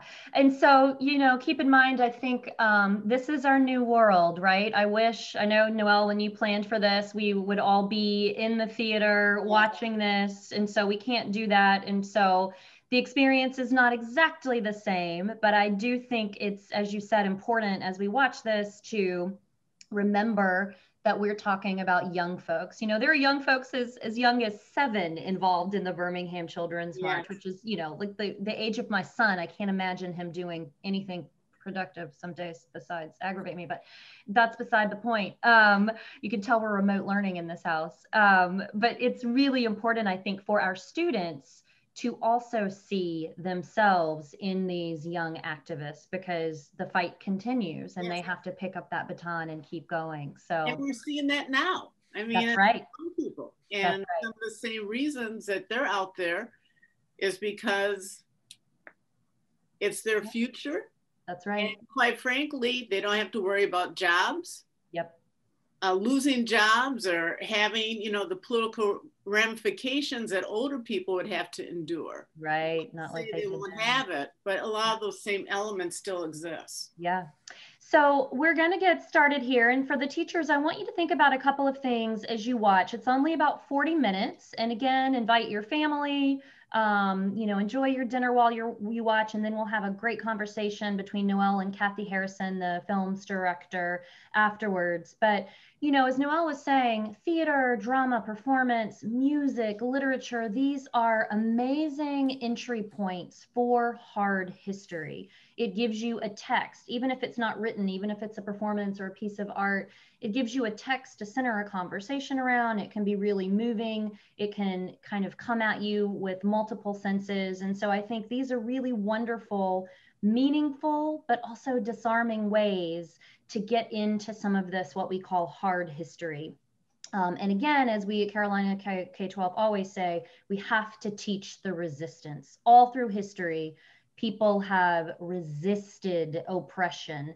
It is not a story of victims, it's a story of survivors. Right. It's a story of um, kings and queens rebelling. It's a story of hope and resilience. And so we really need to make sure that we push that part of the story while acknowledging the truth of the horror and the injustice as well. So as you watch, I'd also like you all to kind of keep track in your mind of the various kinds of resistance that you notice, overt and subtle, and also think about what parts of this, um, if any, but are there parts you might want to use with your own young folks this week since you have that option? Maybe you want to use the whole thing. Um, just kind of start to think creatively about what you might do with what you've learned so far and in combination with this show. So with that, Noel and I will take a little break and the magician behind the scenes, Paul, is gonna get us queued up and show us a performance of the movement. Thank you.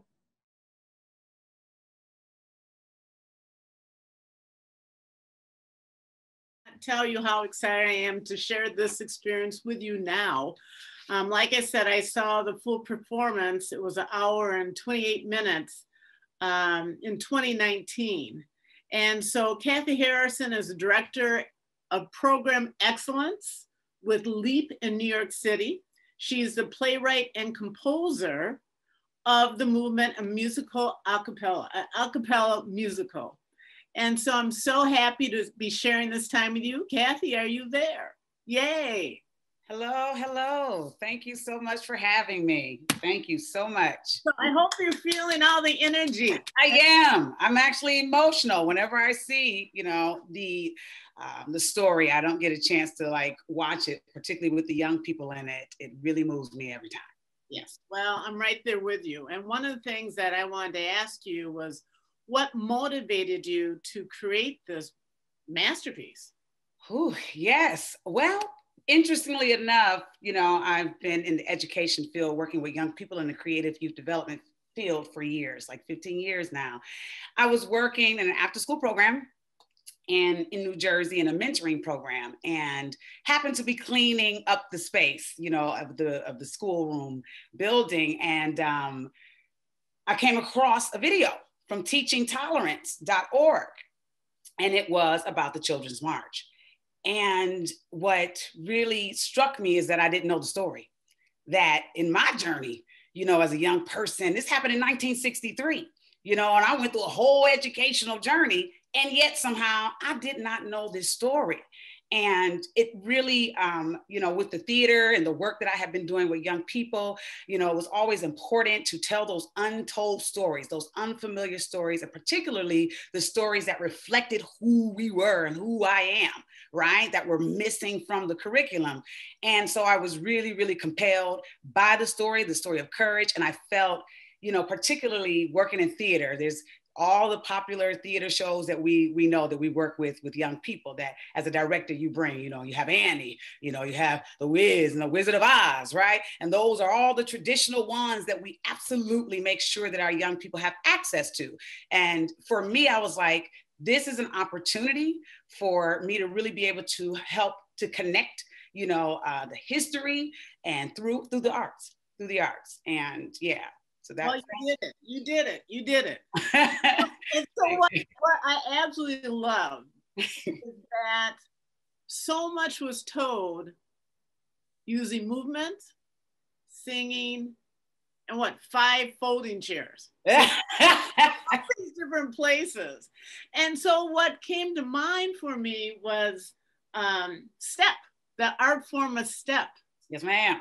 And so I was curious as to, you know, the choices that you made to illustrate the narratives from each of the actors.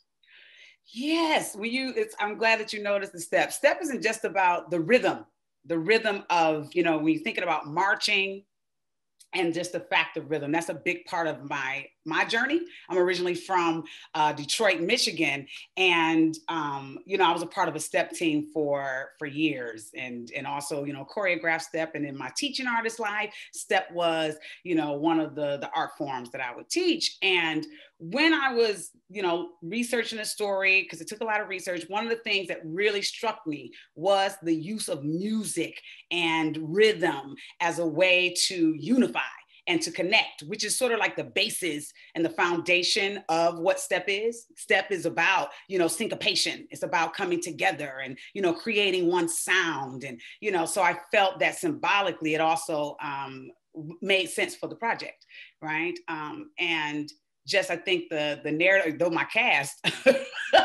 might have a different sentiment because they're not necessarily steppers. It's a very um, exhausting piece you know, to to do using that, but it also it it it brings them together. Yeah. And it kept everybody so tight. So I do have to admit, even though I was sitting in my seat the whole time, I mm-hmm. was tired. right. in that, and I was moving the whole time. Yes, it's it's interesting because it's not something that was intentional at the time. Uh, when the movement was originated, it actually started as a 15 minute piece for a college, just like an excerpt. And the response that we received from it, I said, you know, let me develop it a little bit further.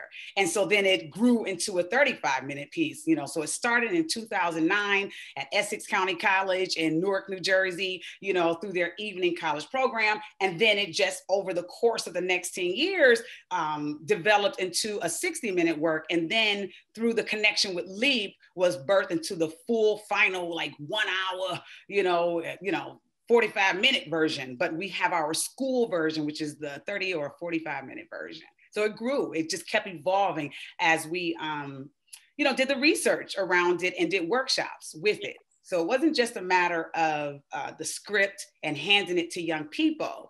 It was actually devising workshops that they actually were went through, you know, um, where they learned the history, and then there was the performative aspect that was merged with it, the integration of the arts. Well, I'm really happy to hear that because, as you heard earlier, we want to make sure that we provide opportunities for people to um, open up to have these discussions. And arts, the arts is so powerful to have that as a platform to do so. So one of the things I wanted to ask you, when as an audience member, or as a teacher, or as a mm-hmm. student, what are some of the three things that you want people to walk away from when they see this performance?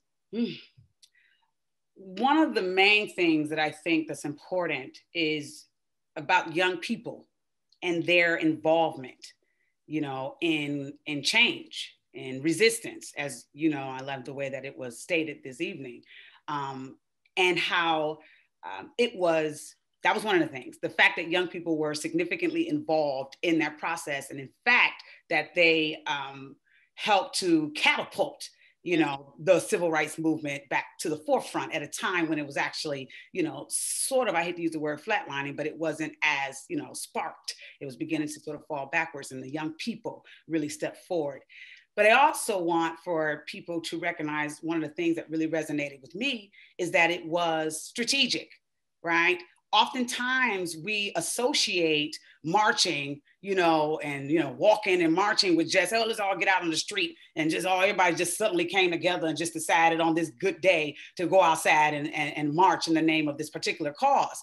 When in fact it was extremely coordinated and organized by the Southern Christian Leadership Council and you know, and the trainings, you know, the nonviolent, you know, the tactic the tactical trainings to really prepare them to use nonviolence as a resistance tool to bring attention to, you know, the injustice, right? Which is that alone, I think, was something that oftentimes people miss and don't know. It's something that I did not know, but in doing the research, um, you know, it was really, really mind blowing to know that it wasn't just a matter of a call uh, a call out to say show up on this day right? And that it was weeks of you know uh, of trainings and, and secretive you know trainings um, to prepare them. So that's a, another thing that the, the truth in history side right?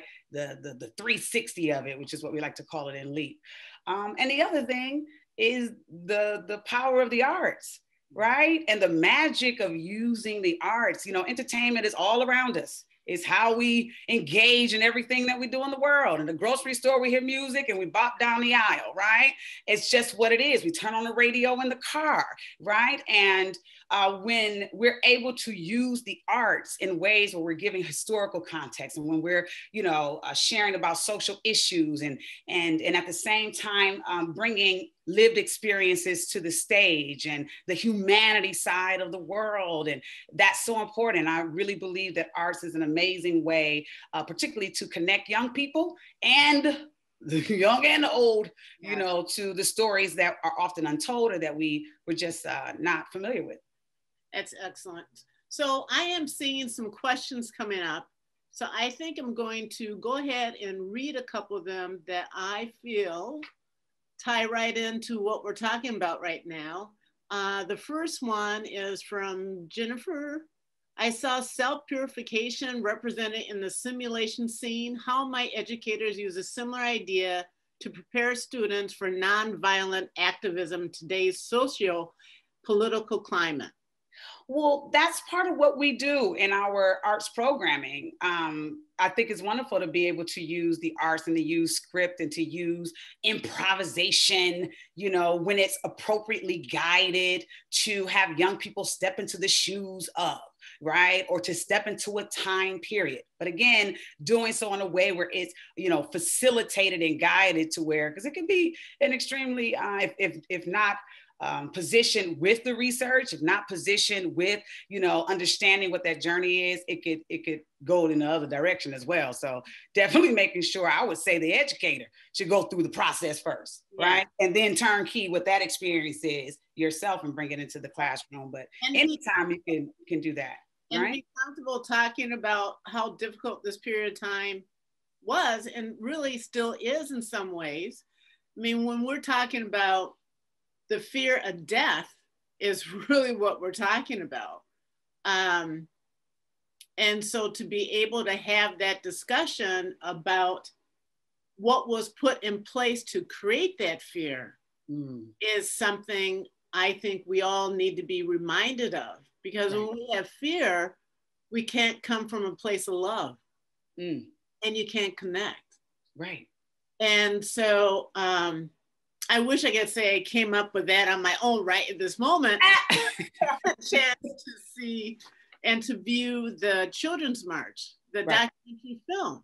Yep. And, and, I referred to one of your lesson plans mm-hmm. that Teaching Tolerance provided. And one of the things that they highlighted was reminding us that you know, when the government, the police and the government realized that they had lost that form of control, that that's when we came into ourselves in terms of understanding the grace of power is present when we discover our own power and then exercise it. Right. And the second one, power to rebel, expression of feeling that comes when we name those injustices and sufferings that are not to be tolerated. And then the power to resist Resistance is a refusal to accept the way things are because they can be different. And then the last point the power to rebel and the power to resist must always be present with the power of love. Mm. If the end is not love, we revert back to negative construct of power. We revert back to being the oppressors. Mm-hmm. That's where the love came from. That's beautiful. That's that's interesting. Uh, one of the scenes in the movement that we don't see in yes. the, the condensed version is the scene where the young people they didn't just readily step into that space of nonviolence right? And the idea that someone would attack you and you couldn't attack them back. So that was part of what those workshops were. And one of the songs in the, the movement is what is the way? You know what is the answer? And the answer is love. What they had to train them towards is to understand that it was not about the person right? That the actions were the thing that they were focused on, but to remember that it's the action and not the person. But yeah, that is one of the the, the theme songs that comes from that training. You know, what is the way? You know, the way is love. Yeah. It is. And so you wrote all the you composed all the music as well. I did. I did compose all of the original music, and as you can see, also integrated the historical sounds that come from the faith-based community. You know, those churches, which is another part of the story that's so critical and vital. That uh, the faith-based, the Black churches, were there right and a big part of of how uh, the movement uh, was able to to to to get off the ground but yes created all of the the music and directed and wrote the piece as well as choreographed the work um, you know i have a background in all of that i'm a performer you know i was a multidisciplinary artist myself I- yeah, I saw you in it. Matter of fact. I, yes, that's the one. Actually, this was one of the first times that I was not in it. I was actually, uh, you know, also working the lights on that good day. I understand you. We do what we have to do. Yes, and I love every moment of it. But you you saw me in it at the National Black Theater Festival. Yeah. Yes. Yeah. All right, I have another question here. I teach students who speak English as a second language. Mm-hmm. At my present school, most of these students are from the Latinx community. Mm-hmm. any suggestions about how to make the history of African Americans in the United States culturally relevant to my students? Absolutely. Thank you for that question. That's a big part, again, of what um, we do in LEAP, and I believe that's important, that happens across, you know, the education spectrum in general. Um, when it comes to, that's our community, we serve Black and Brown young people. A big part of our population is the Latinx community, right? And um, one of the things that we do, telling the African American, you know, story you know, is American history. Like the same way that, you know, the way that I, you know, would associate it is the same way you learn about Benjamin Franklin and the same way, right? You learn about everything else in American history. It's interesting when it comes time to tell a story of a particular racial group or an immigrant group or whatever, we feel we have to approach it differently. The same way that we approach telling all the other stories that are living within that history book and the framing of that is this is American history, right? This is mm. American history. And in terms of connecting it to the population that it is that you're working with, the wonderful side of it is being able to bring in to the conversation around the Chicano movement, being able to bring in and associate the Puerto Rican, you know, the, the rebellion, the other movements that have happened that are reflective of the community that you're working within, connecting it, you know, and creating those sort of like those through those through lines. But uh, I always, you know, the reality of the matter is, you know, this particular story is American history. It's not just exclusive, you know, African American. There were all racial, you know, groups and dynamics that work towards you know this particular um, that were involved in this story you know um, so that's one of the ways that i would i would say you know it's to, it, it is important that we always connect it to who they are. And i think one of the main things is they're kids that are, that are dealing with some you know some circumstances that were you know traumatic you know and had adults that were mentors who who helped them to step into their power I've, I've always been curious as the aftermath of being involved in these resistant movements. Hmm. Um, you know, now we use the words post traumatic stress. Yes. And I think now as a community, we're talking more about how that really does impact us. Right. You know, I, I've, yes. I saw it the first time and I said, oh my God, yes, the kids were at the forefront. I understand why yeah. But having that decision made, you know, originally my understanding is Dr. King didn't want to have that happen. No, he didn't. Right. James Bevel, you know, who had been working with the young people, and Dorothy Cotton, you know, who had um, already been working with the young people uh, when, you know, connecting it to history. The letter from Birmingham was written because the adults did not show up. The plan was that the adults in Birmingham would be the ones that would move that um, that initiative forward, that plan forward. And when they didn't show up, and he got arrested, and he wrote that letter, and everyone said, "Now is not the time." You know, we should probably pause. Let's wait till it's a better time. You know, the religious community, to you know, sent him a letter said we should hold off, and he said, "No, now is the time." You know, which is why you're here to the show. Do something right now. Like the time is now, and James Bevel said, listen, I've been doing these workshops with young people because, you know, they were, you know, um, working with them to help them process what was happening in their community. Um, and, you know, he said, give me this opportunity to, to, to use them. And he did not want to, which is why for years, it was not on the timeline, you know, of the civil rights journey. In fact, they kept it off of there, you know, because it looked as though they had placed innocent children on the front lines and put them in danger intentionally right? And so they at one point weren't proud of it, right? Um, but yeah, so. Well, it did give me pause, I have to admit. Mm-hmm. Mm-hmm.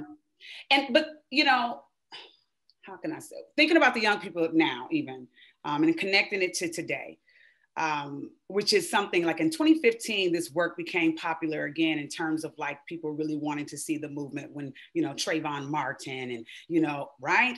And, and young people become outraged because it's young people that is happening too. That's right. Right? So this notion or this idea, they are going through that experience the same way an adult is, right? So in Birmingham, when they were bombing, you know, they called it Bombingham. They were living in that, like that. Ex- they were living through that experience. They were they were a part of it. They weren't necessarily off and away while war was taking place. They were living in the midst of that. So it would it would behoove them, you know what I'm saying, to be able to. I can't imagine it happening around me and I just sit there and I'm 14 and I'm 15. That's the time when you itching to really be able to have your voice be heard and you're stepping into your, you know, your young adult self. And so um, I think where it probably felt um, you know, a little tricky is the fact that adults didn't leave them to their own devices and say, you know, and let them handle it in their own way, because that's what it could have turned into, right? It, it's no way that it wouldn't have with what was taking place. Instead, it was guided. It was mm-hmm. a guided. So there's a part that then you have to say, well, wait a minute. You know, they could have just allowed uh, not been a part of saying this is the way that we can approach this and teach them about the strategy to really be able to bring attention to it to create that change. Um, and that's why people are now like Black Lives Matter, violence, and all this kind of stuff. No, it's not. What it is is, is uh, oftentimes the guidance factor. You know, because adults step back, but they had adults that stepped forward with them and walked them through that journey. So, mm-hmm. you know, we also have to celebrate that now is the amazing Sarah Carrier to show us some of the resources. We don't want you to leave. In addition to all that stuff we've been putting into the chat box, we also want to show you this kind of groundbreaking on the books website, as well as all the lesson plans that are there for you, ready to go to teach about Jim Crow using the site or not using the site. You have lots of options here. So um, I'm going to introduce Sarah Carrier, who has joined me on screen. She is the content expert and outreach for On the Books at UNC Libraries, which she's going to give you an overview of this really special work. Sarah is a research and instruction librarian at Wilson Special Collections, um, and she supports research related to the history, people, and culture of North Carolina. Her work emphasizes the centrality of archives and special collections to inform the present while building historical consciousness. And in her role with the groundbreaking project and website on the books, she provides collections and primary source expertise, as well as strategizes outreach and support for potential users of the website. She is truly always willing to help a teacher so you guys should know when you're looking for a particular type of North Carolina history source, she's somebody, if you email her, she actually does get back to you from the university. So she gets extra credit for that.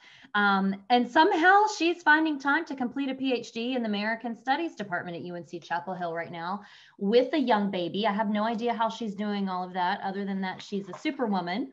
Um, but I'm going to turn it over to Sarah to give us a kind of whirlwind look at this site and the resources available to you. Hey there, everyone. Thanks so much for having me. And I will um, try to um, uh, cover as much information as possible, but um, with uh, time in mind.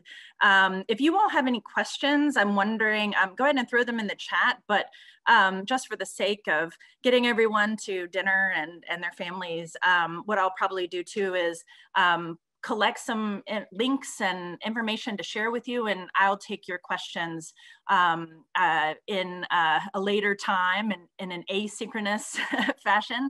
Um, and I'm happy to email with you or talk with you on the phone. Um, so I'm gonna um, go ahead and share my screen without further ado. Um, as Christy was, was saying, um, I work at UNC Chapel Hill. I'm a librarian, but I am going to be presenting information about this project, which I really hope is going to be very useful for you. So let me actually um, start the uh, slideshow here. Hold on one second. I'm trying to get to, hold on. I thought that I had already started it. Here we go. And, aha. So um, let me tell you a little bit about the project. So I am um, one of the team members, and I'm gonna spend the first part of this um, this little presentation just giving you an overview of the um, of the project itself.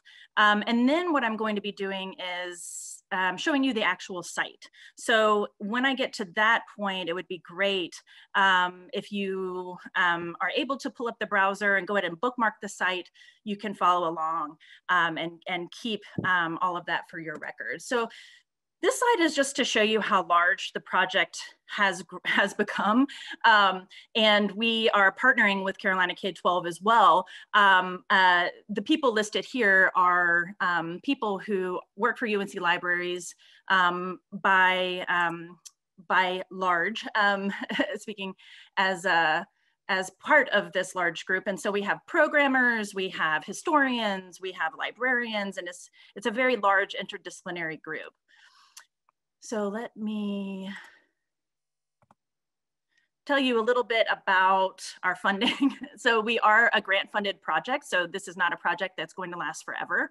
Um, but the work that we're doing to um, help you with your teaching of Jim Crow in North Carolina, that history and that impact um, is something that we want to continue beyond um, the grant that we received to actually try and look at this massive corpus of laws passed by the General Assembly of North Carolina during the Jim Crow era um, and all of this race-based legislation. So we received, um, applied for and received a couple um, pretty great grants and this is really what we've been trying to do. So we wanted to make this part of the legal history in North Carolina um, as accessible as possible. Um, so make it available as a single text corpus. And so what we're dealing with are over 100 years of public, private, and local session laws. And some of that distinction, um, I'll show you on the website, um, it does have meaning. So it, it has meaning as far as how um, how people are impacted by the particular law that's being passed. Um, and so we have lots of different kinds of laws um, represented here, but these are all laws passed by at the state level, um, even if they are local laws. And so, you know, of course, we're talking about Jim Crow. So we started thinking, okay, we're, we're doing end of Reconstruction through the passage of the Civil Rights Act. And and we started looking at it and and we started seeing of course race-based legislation was um, was appearing um, understandably well before the end of reconstruction. Um, and we wanted to go deeper into the 1960s as well. So we ended up having a very large corpus of, of laws. Um, but uh, what I'm going to tell you next is um, the reason why we ended up um, looking for this grant and uh, putting together this huge team of people is um, I tried to do this by myself um, by looking at the actual books and flipping through them and searching through the PDFs. And it was a, um, a massive undertaking to say the least. Um, so could we actually do this in a more automated fashion? um, and do um, what we call text analysis to see if there's a way for um, to generate an inventory of Jim Crow laws in North Carolina, um, at least as a as something to start with, um, and do it in a much more automated fashion.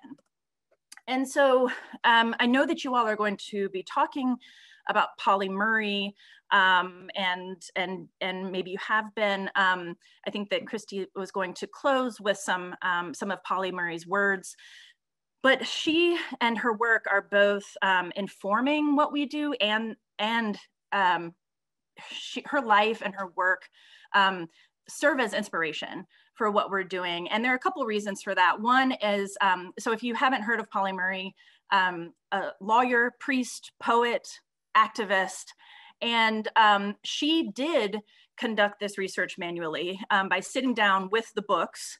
Um, so all of the laws published in volumes um, generated by the General Assembly um, during their sessions and looked through and published states laws on race and color. And, and it wasn't just North Carolina. She looked across the entire South um, looking for these Jim Crow laws. And so we were able to start with that um, and her work goes up through 1955.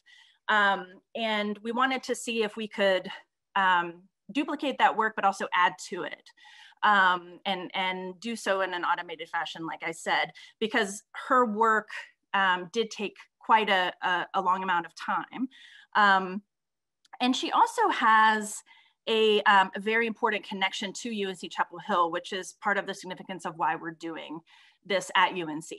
Um, so um, she was first denied um, uh, entry to graduate school at UNC in 1938. That year, both she and another Black woman, um, a woman by the name of Edwina Thomas, they both applied um, at a couple different points in 1938 to the graduate school. And this is based on um, uh, a, a, number of cases that had been moving through um, different states um, challenging segregation in higher education. And so she was denied entry to graduate school in 1938. Um, we have records of her correspondence with the then president of UNC, um, uh, Frank Porter Graham. She also applied to law school in 1951. Um, she already had her law degree, but was hoping to take additional coursework, and she was again denied. She also has a, a very important and deep family connection to UNC Chapel Hill, and that is through the Smith family. So Mary Ruffin Smith was a major landowner and um, benefactor uh, to the university. Um, if you know Chapel Hill or Orange County, we're talking about Fearrington Village, what's now Fearrington Village and Smith Level Road. So they were um, major landowners and enslavers, um, the Smith family. And so Mary Ruffin Smith had um, two brothers, Francis and Sidney, and both of these men um, uh, forced themselves um, upon one of the women that the family enslaved. Um, and that woman's name was Harriet. And she um, bore to both of them uh, children. And one of those children um, born to Harriet and Sidney was Cornelia Smith, who was Pauli Murray's grandmother. So what I have here is um, um, just one of her poems.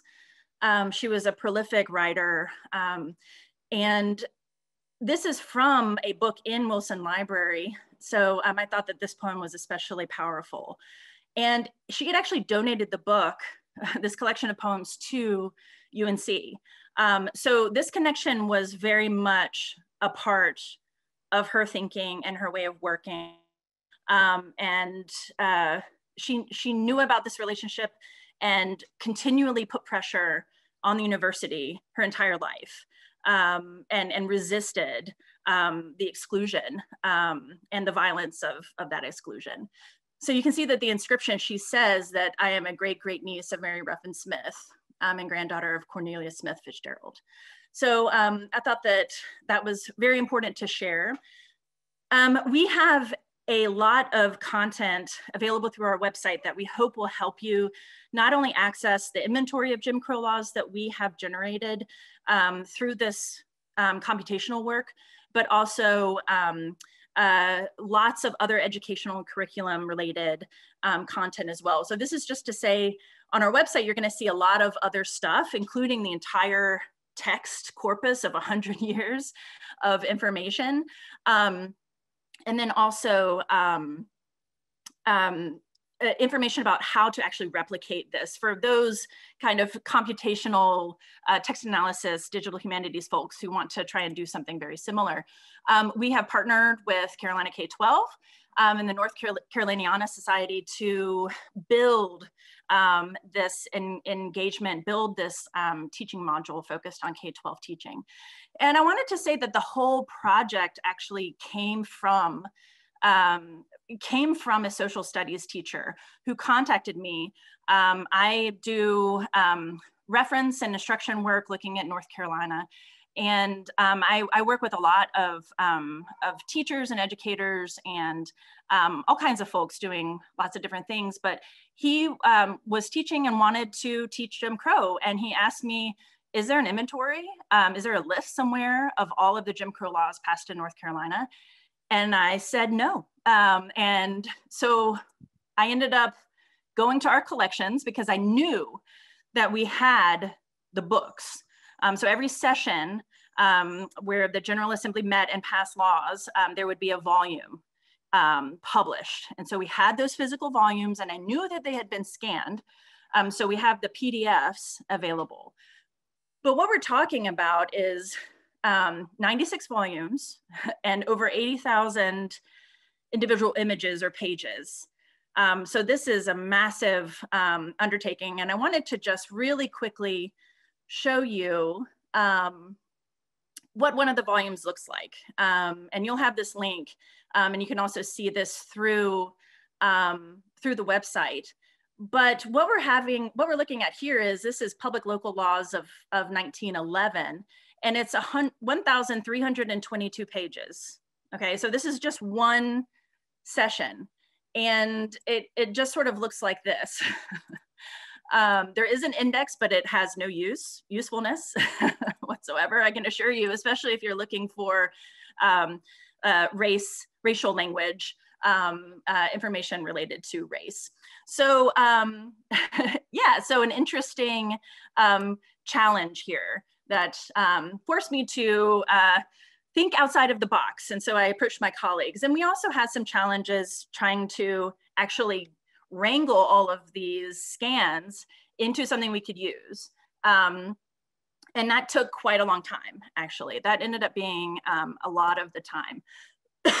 Excuse me. And this is just showing you how when you start looking at the laws, sometimes there are misspellings, and that's because of the way that the that the the, the best that the algorithm that the computer could do um, to try and parse some of the characters or try to read some of, you know, maybe the printing error, errors or other things like that. But this is just to kind of give you kind of a peek under the hood.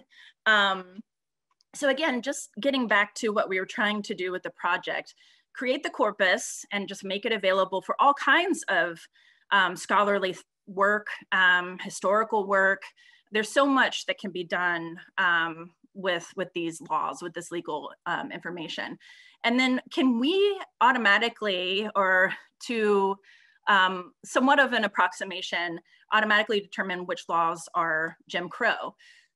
So what we ended up doing was kind of a combination of things, okay? Um, so we have an algorithm, okay? We need for it to figure out what is a Jim Crow law, what isn't a Jim Crow law, but then we have all of these experts, um, some of them, um, including Pauli Murray and Richard Paschal, um, uh, did uh, an amazing amount of work um, uh, definitively saying these are Jim Crow laws. So we can use that to train our computer to, to properly say, oh, okay, I'm comparing these things and and this is a definitive yes or no. And then we also had two other people on the team, historian uh, William Sturkey and um, postdoc um, from American Studies at UNC Chapel Hill, Kimber Thomas. So there, you know, there are some things that we're hoping to improve upon, some things that may continue to be limitations. Um, if you read William Sturkey's essay, um, you know that sometimes um, it's not explicit in the law that it is Jim Crow, um, it, that is race-based legislation, but it is in its um, impact and its implementation that it is um, discriminatory. Okay, and then we have some other things, you know, as far as, you know, interpretation of what is and what isn't Jim Crow. Um, so I just wanted to quickly say too, um, we call this on the books algorithms of resistance. And this also kind of, that in, in a very important way comes back to Pauli Murray and the origins of this, which is based in um, teaching the young people of this country, um, the young North Carolinians about their history, um, because it's real and it's still happening. Um, and so we take um, some inspiration too from Safiya Noble, who wrote a really important book, Algorithms of Oppression, um, and she was looking at Google um, to prove that you know these computers are not just you know um, completely neutral, unbiased. They aren't just um, you know they're you know uninfluenced right by um, any kind of um, human um, uh, position or po- or politics. So data discrimination is real. The internet is biased and um, computers and, and their programs are not neutral.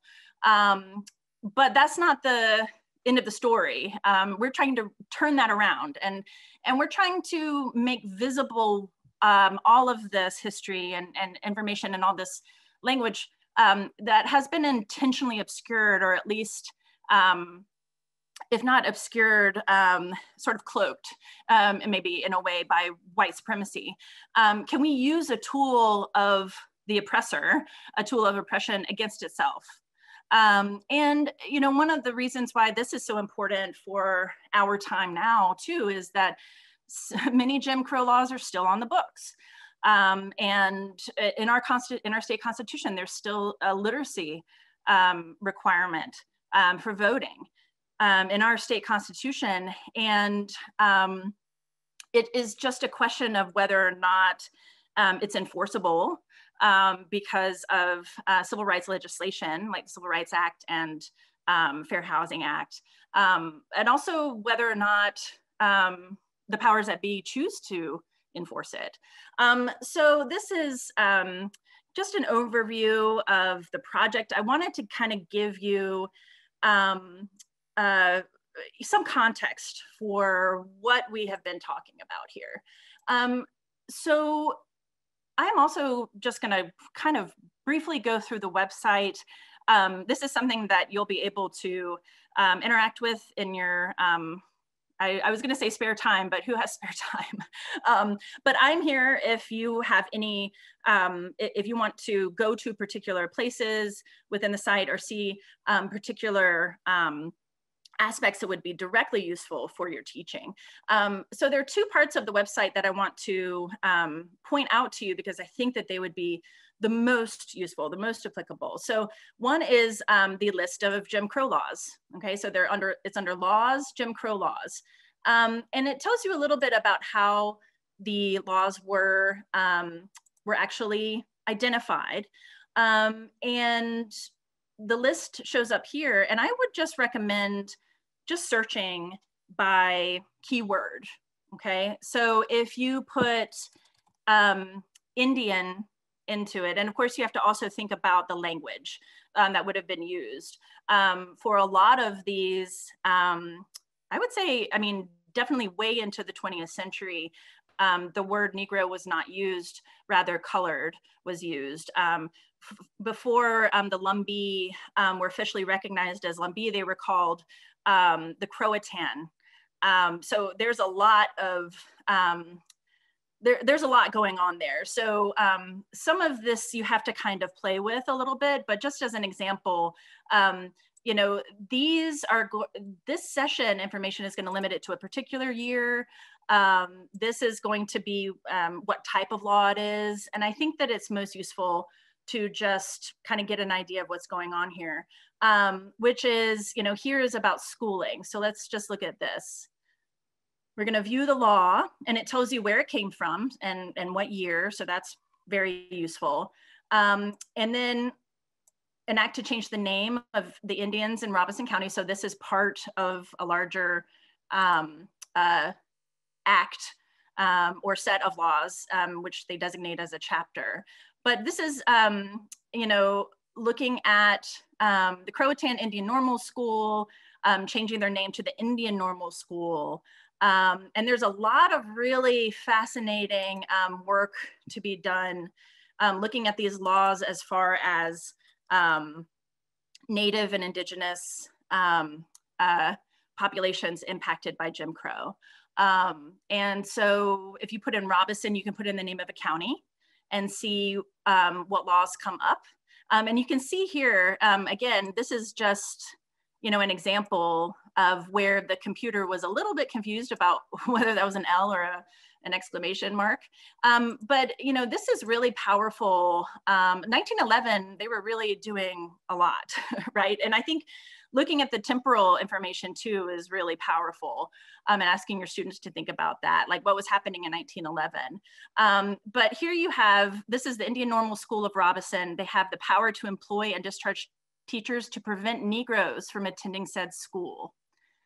Okay, so you have um, some really um, uh, disturbing um, impacts um, happening here. So this is where you have um, the list of North Carolina Jim Crow laws, which is searchable. You can also view the original PDF or just the image of the page. So this could be interesting too.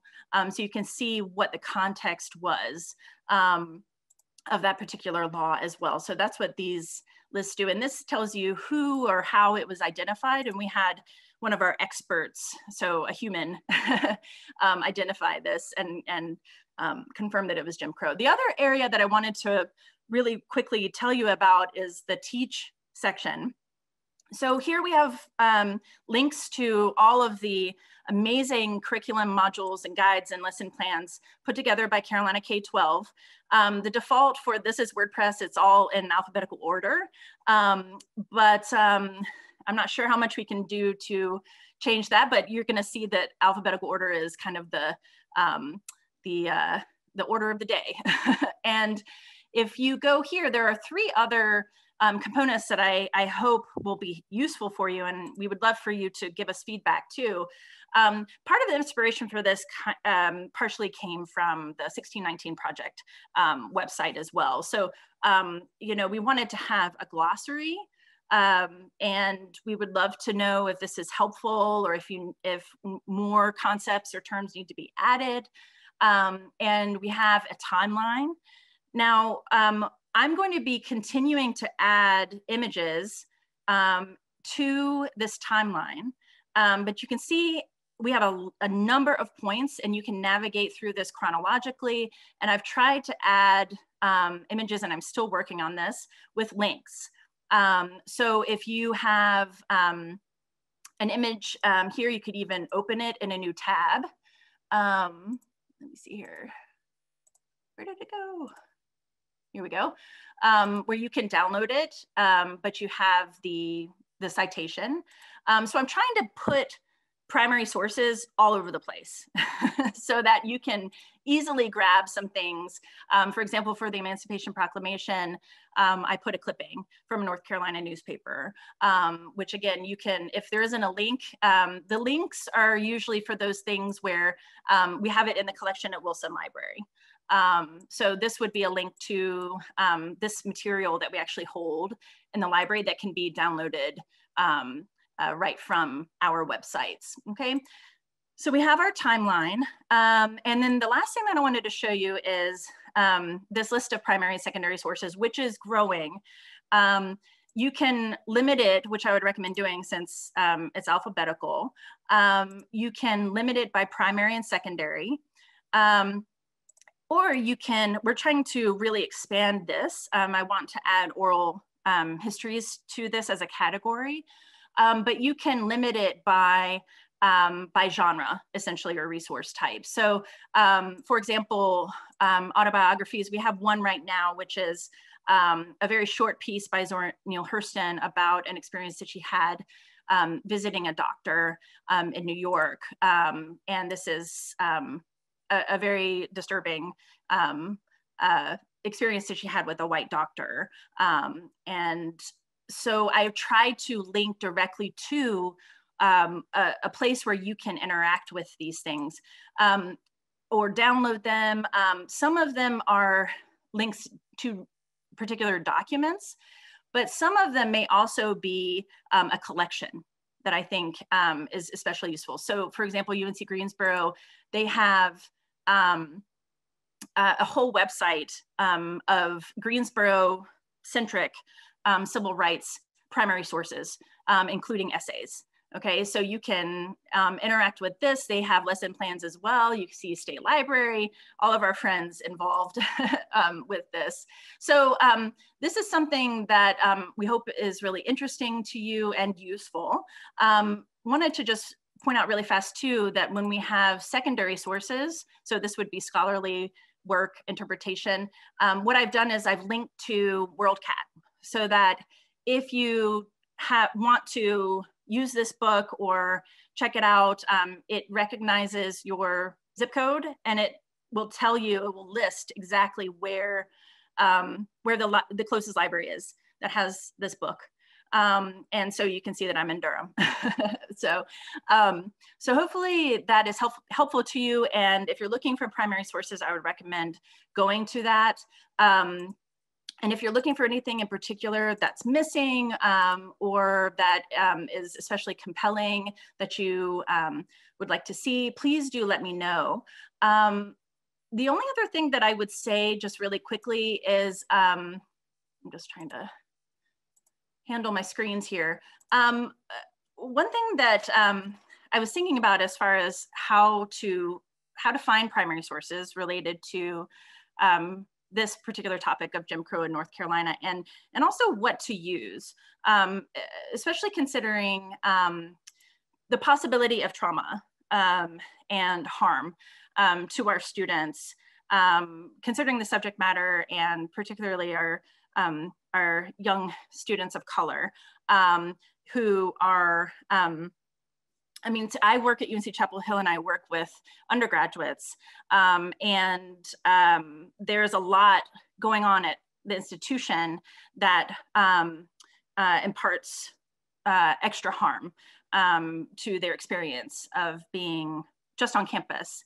Um, and with the pandemic going on, um, this is all exacerbated. So, you know, just thinking about, um, you know, we want to mitigate trauma and harm. So, um, you know, look, trying to find primary sources and what I've tried to put into these lists um, are, are th this is very carefully thought out. Um, you know, I may not be right about everything, or maybe even um, maybe conservative or more conservative than others. But um, like for example, we I teach classes about lynching um, in in North Carolina in the South, and um, uh, there's a lot of material that I do not show the students because I don't have to. Like we have postcards um, and um, we really need to ask ourselves, do we need, do we need to show this?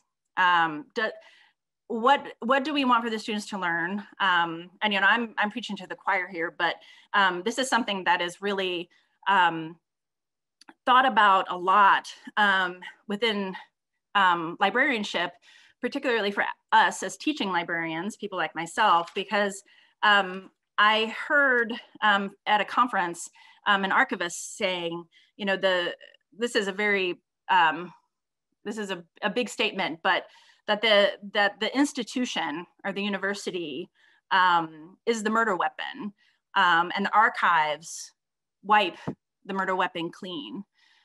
so what we are guilty of um, we are guilty of many things, um, but the, the libraries, the archives um, have conventionally, conventionally silenced um, voices, um, silenced experiences, um, squelched um, stories of empowerment and resistance.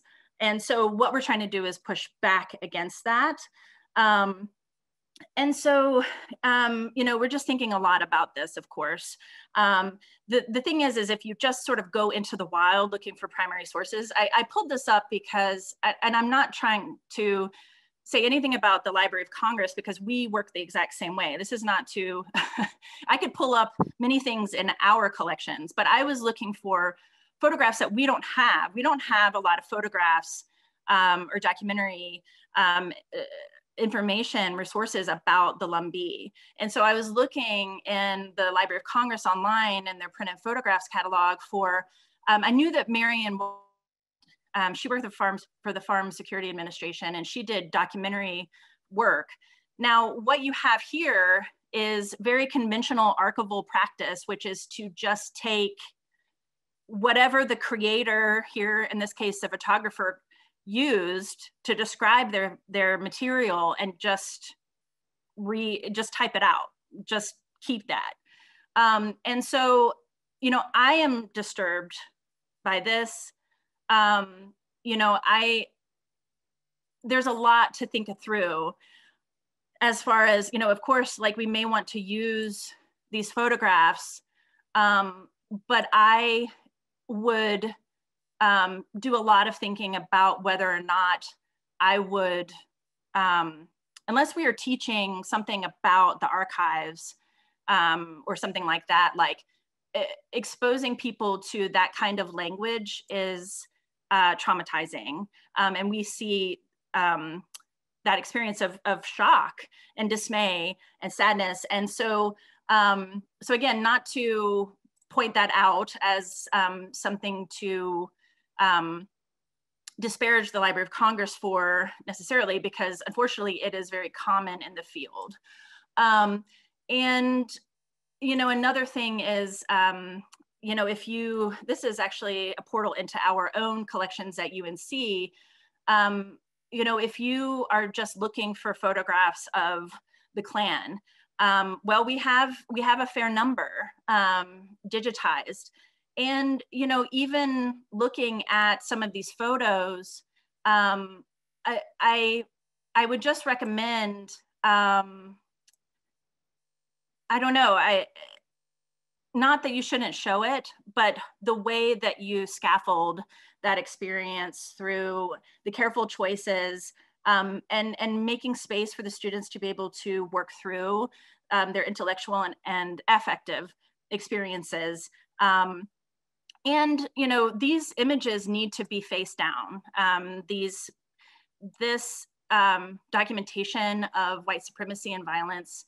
um, it, it, needs to be faced. Um, but what we also want to do is center stories of resistance and survival um, as well. And I just wanted to share really quickly a, a tactic that I use. Um, I'm, I'm teaching, um, I link this in the primary sources, but we have the diary of the first Black woman undergraduate at UNC Chapel Hill. Um, her name is Karen Parker. She lives in Greensboro now. And um, we're going to be mapping um, the, her diary of uh, her junior and senior year at UNC Chapel Hill, where she experienced um, an, an, an unbelievable um, amount of uh, uh, isolation and um, um, direct violence from her participation in civil rights um, protests in Chapel Hill. Um, and so I'm putting together some resources for these students um, and I am putting some um, content warnings um, onto some of the folders, you know, so that before they click into it and see it that they are um, prepared.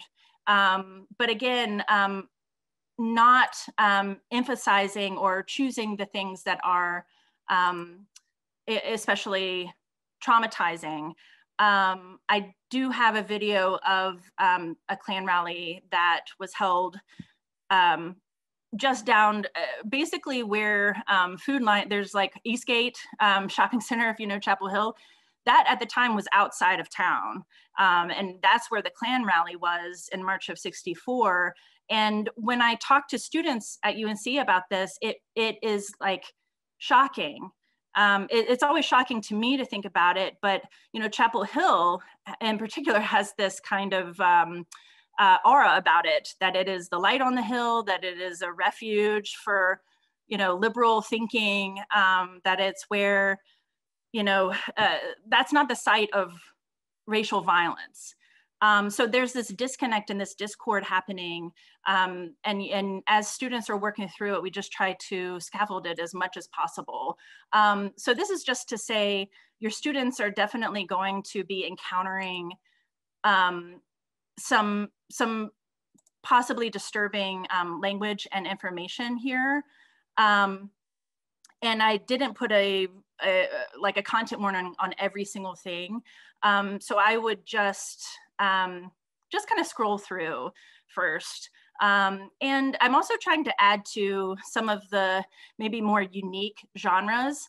Um, so um, here's a song by Eric Dolphy, um, a composition um, called Jim Crow that's um, really beautiful. And so I'm trying to kind of think of other kinds of experiences that students may find useful. So I'm going to stop now and I apologize. I think that I did um, plan for a bit longer of a, um, I'm actually trying to stop. No worries. Um, thank you. And um, we were running late like i said it's it's every teacher runs late and so i do want to say to everyone that's still with us we are going to up your ceus paul we're going to give them four hours of ceu because even though we're leaving now um, because you guys stayed with us almost 200 of you are still with us why are you still with us? I love that you're still with us. Um, so Sarah, thank you so much. Um, Susan did ask one of our teachers can you make available all of the web links that you showed? I know you're usually so great and you'll send me a list of those and then we can send it to the teachers. Great. Yes, absolutely. And, and you know, we're hoping that this will be, you know, kind of a portal into um, scholarly work and thinking and teaching about Jim Crow in North Carolina, but we aren't going to be able to link to everything right. um, or represent everything. So um, yeah, if it's going to be growing and happy to um, try to put together a list of things. It's it's hard to um, yeah go to an archive and and you wouldn't be able to search for Jim Crow.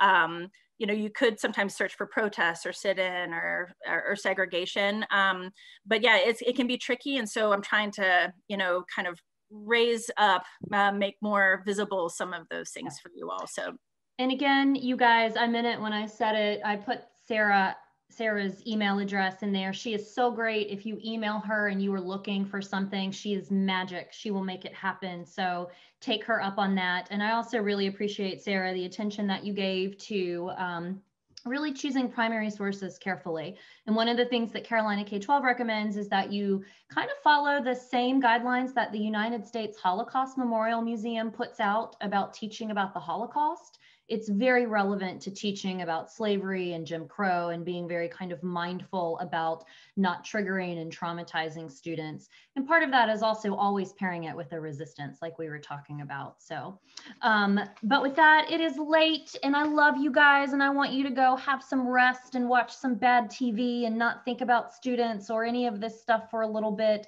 So we're going to say goodnight here. I do want to again say thank you so much to Richard Paschal, to Noel James and Kathy Harrison, to the performers and the movement, um, to Sarah Carrier, to Paul Benici behind the scenes, to our partners at the North Carolina History Museum, Special thanks to the Braitmayer Foundation and to the North Caroliniana Society for making this book possible and for sending um, all of you a copy of a book of your choice. Paul is popped into the chat box the link where you can fill out your quick questions and ask for that book. Um, and so please try to do that. Um, if we run out of books, it would be first come, first serve. So do that sooner than later, but we're going to try to take care of all of you because we just love teachers.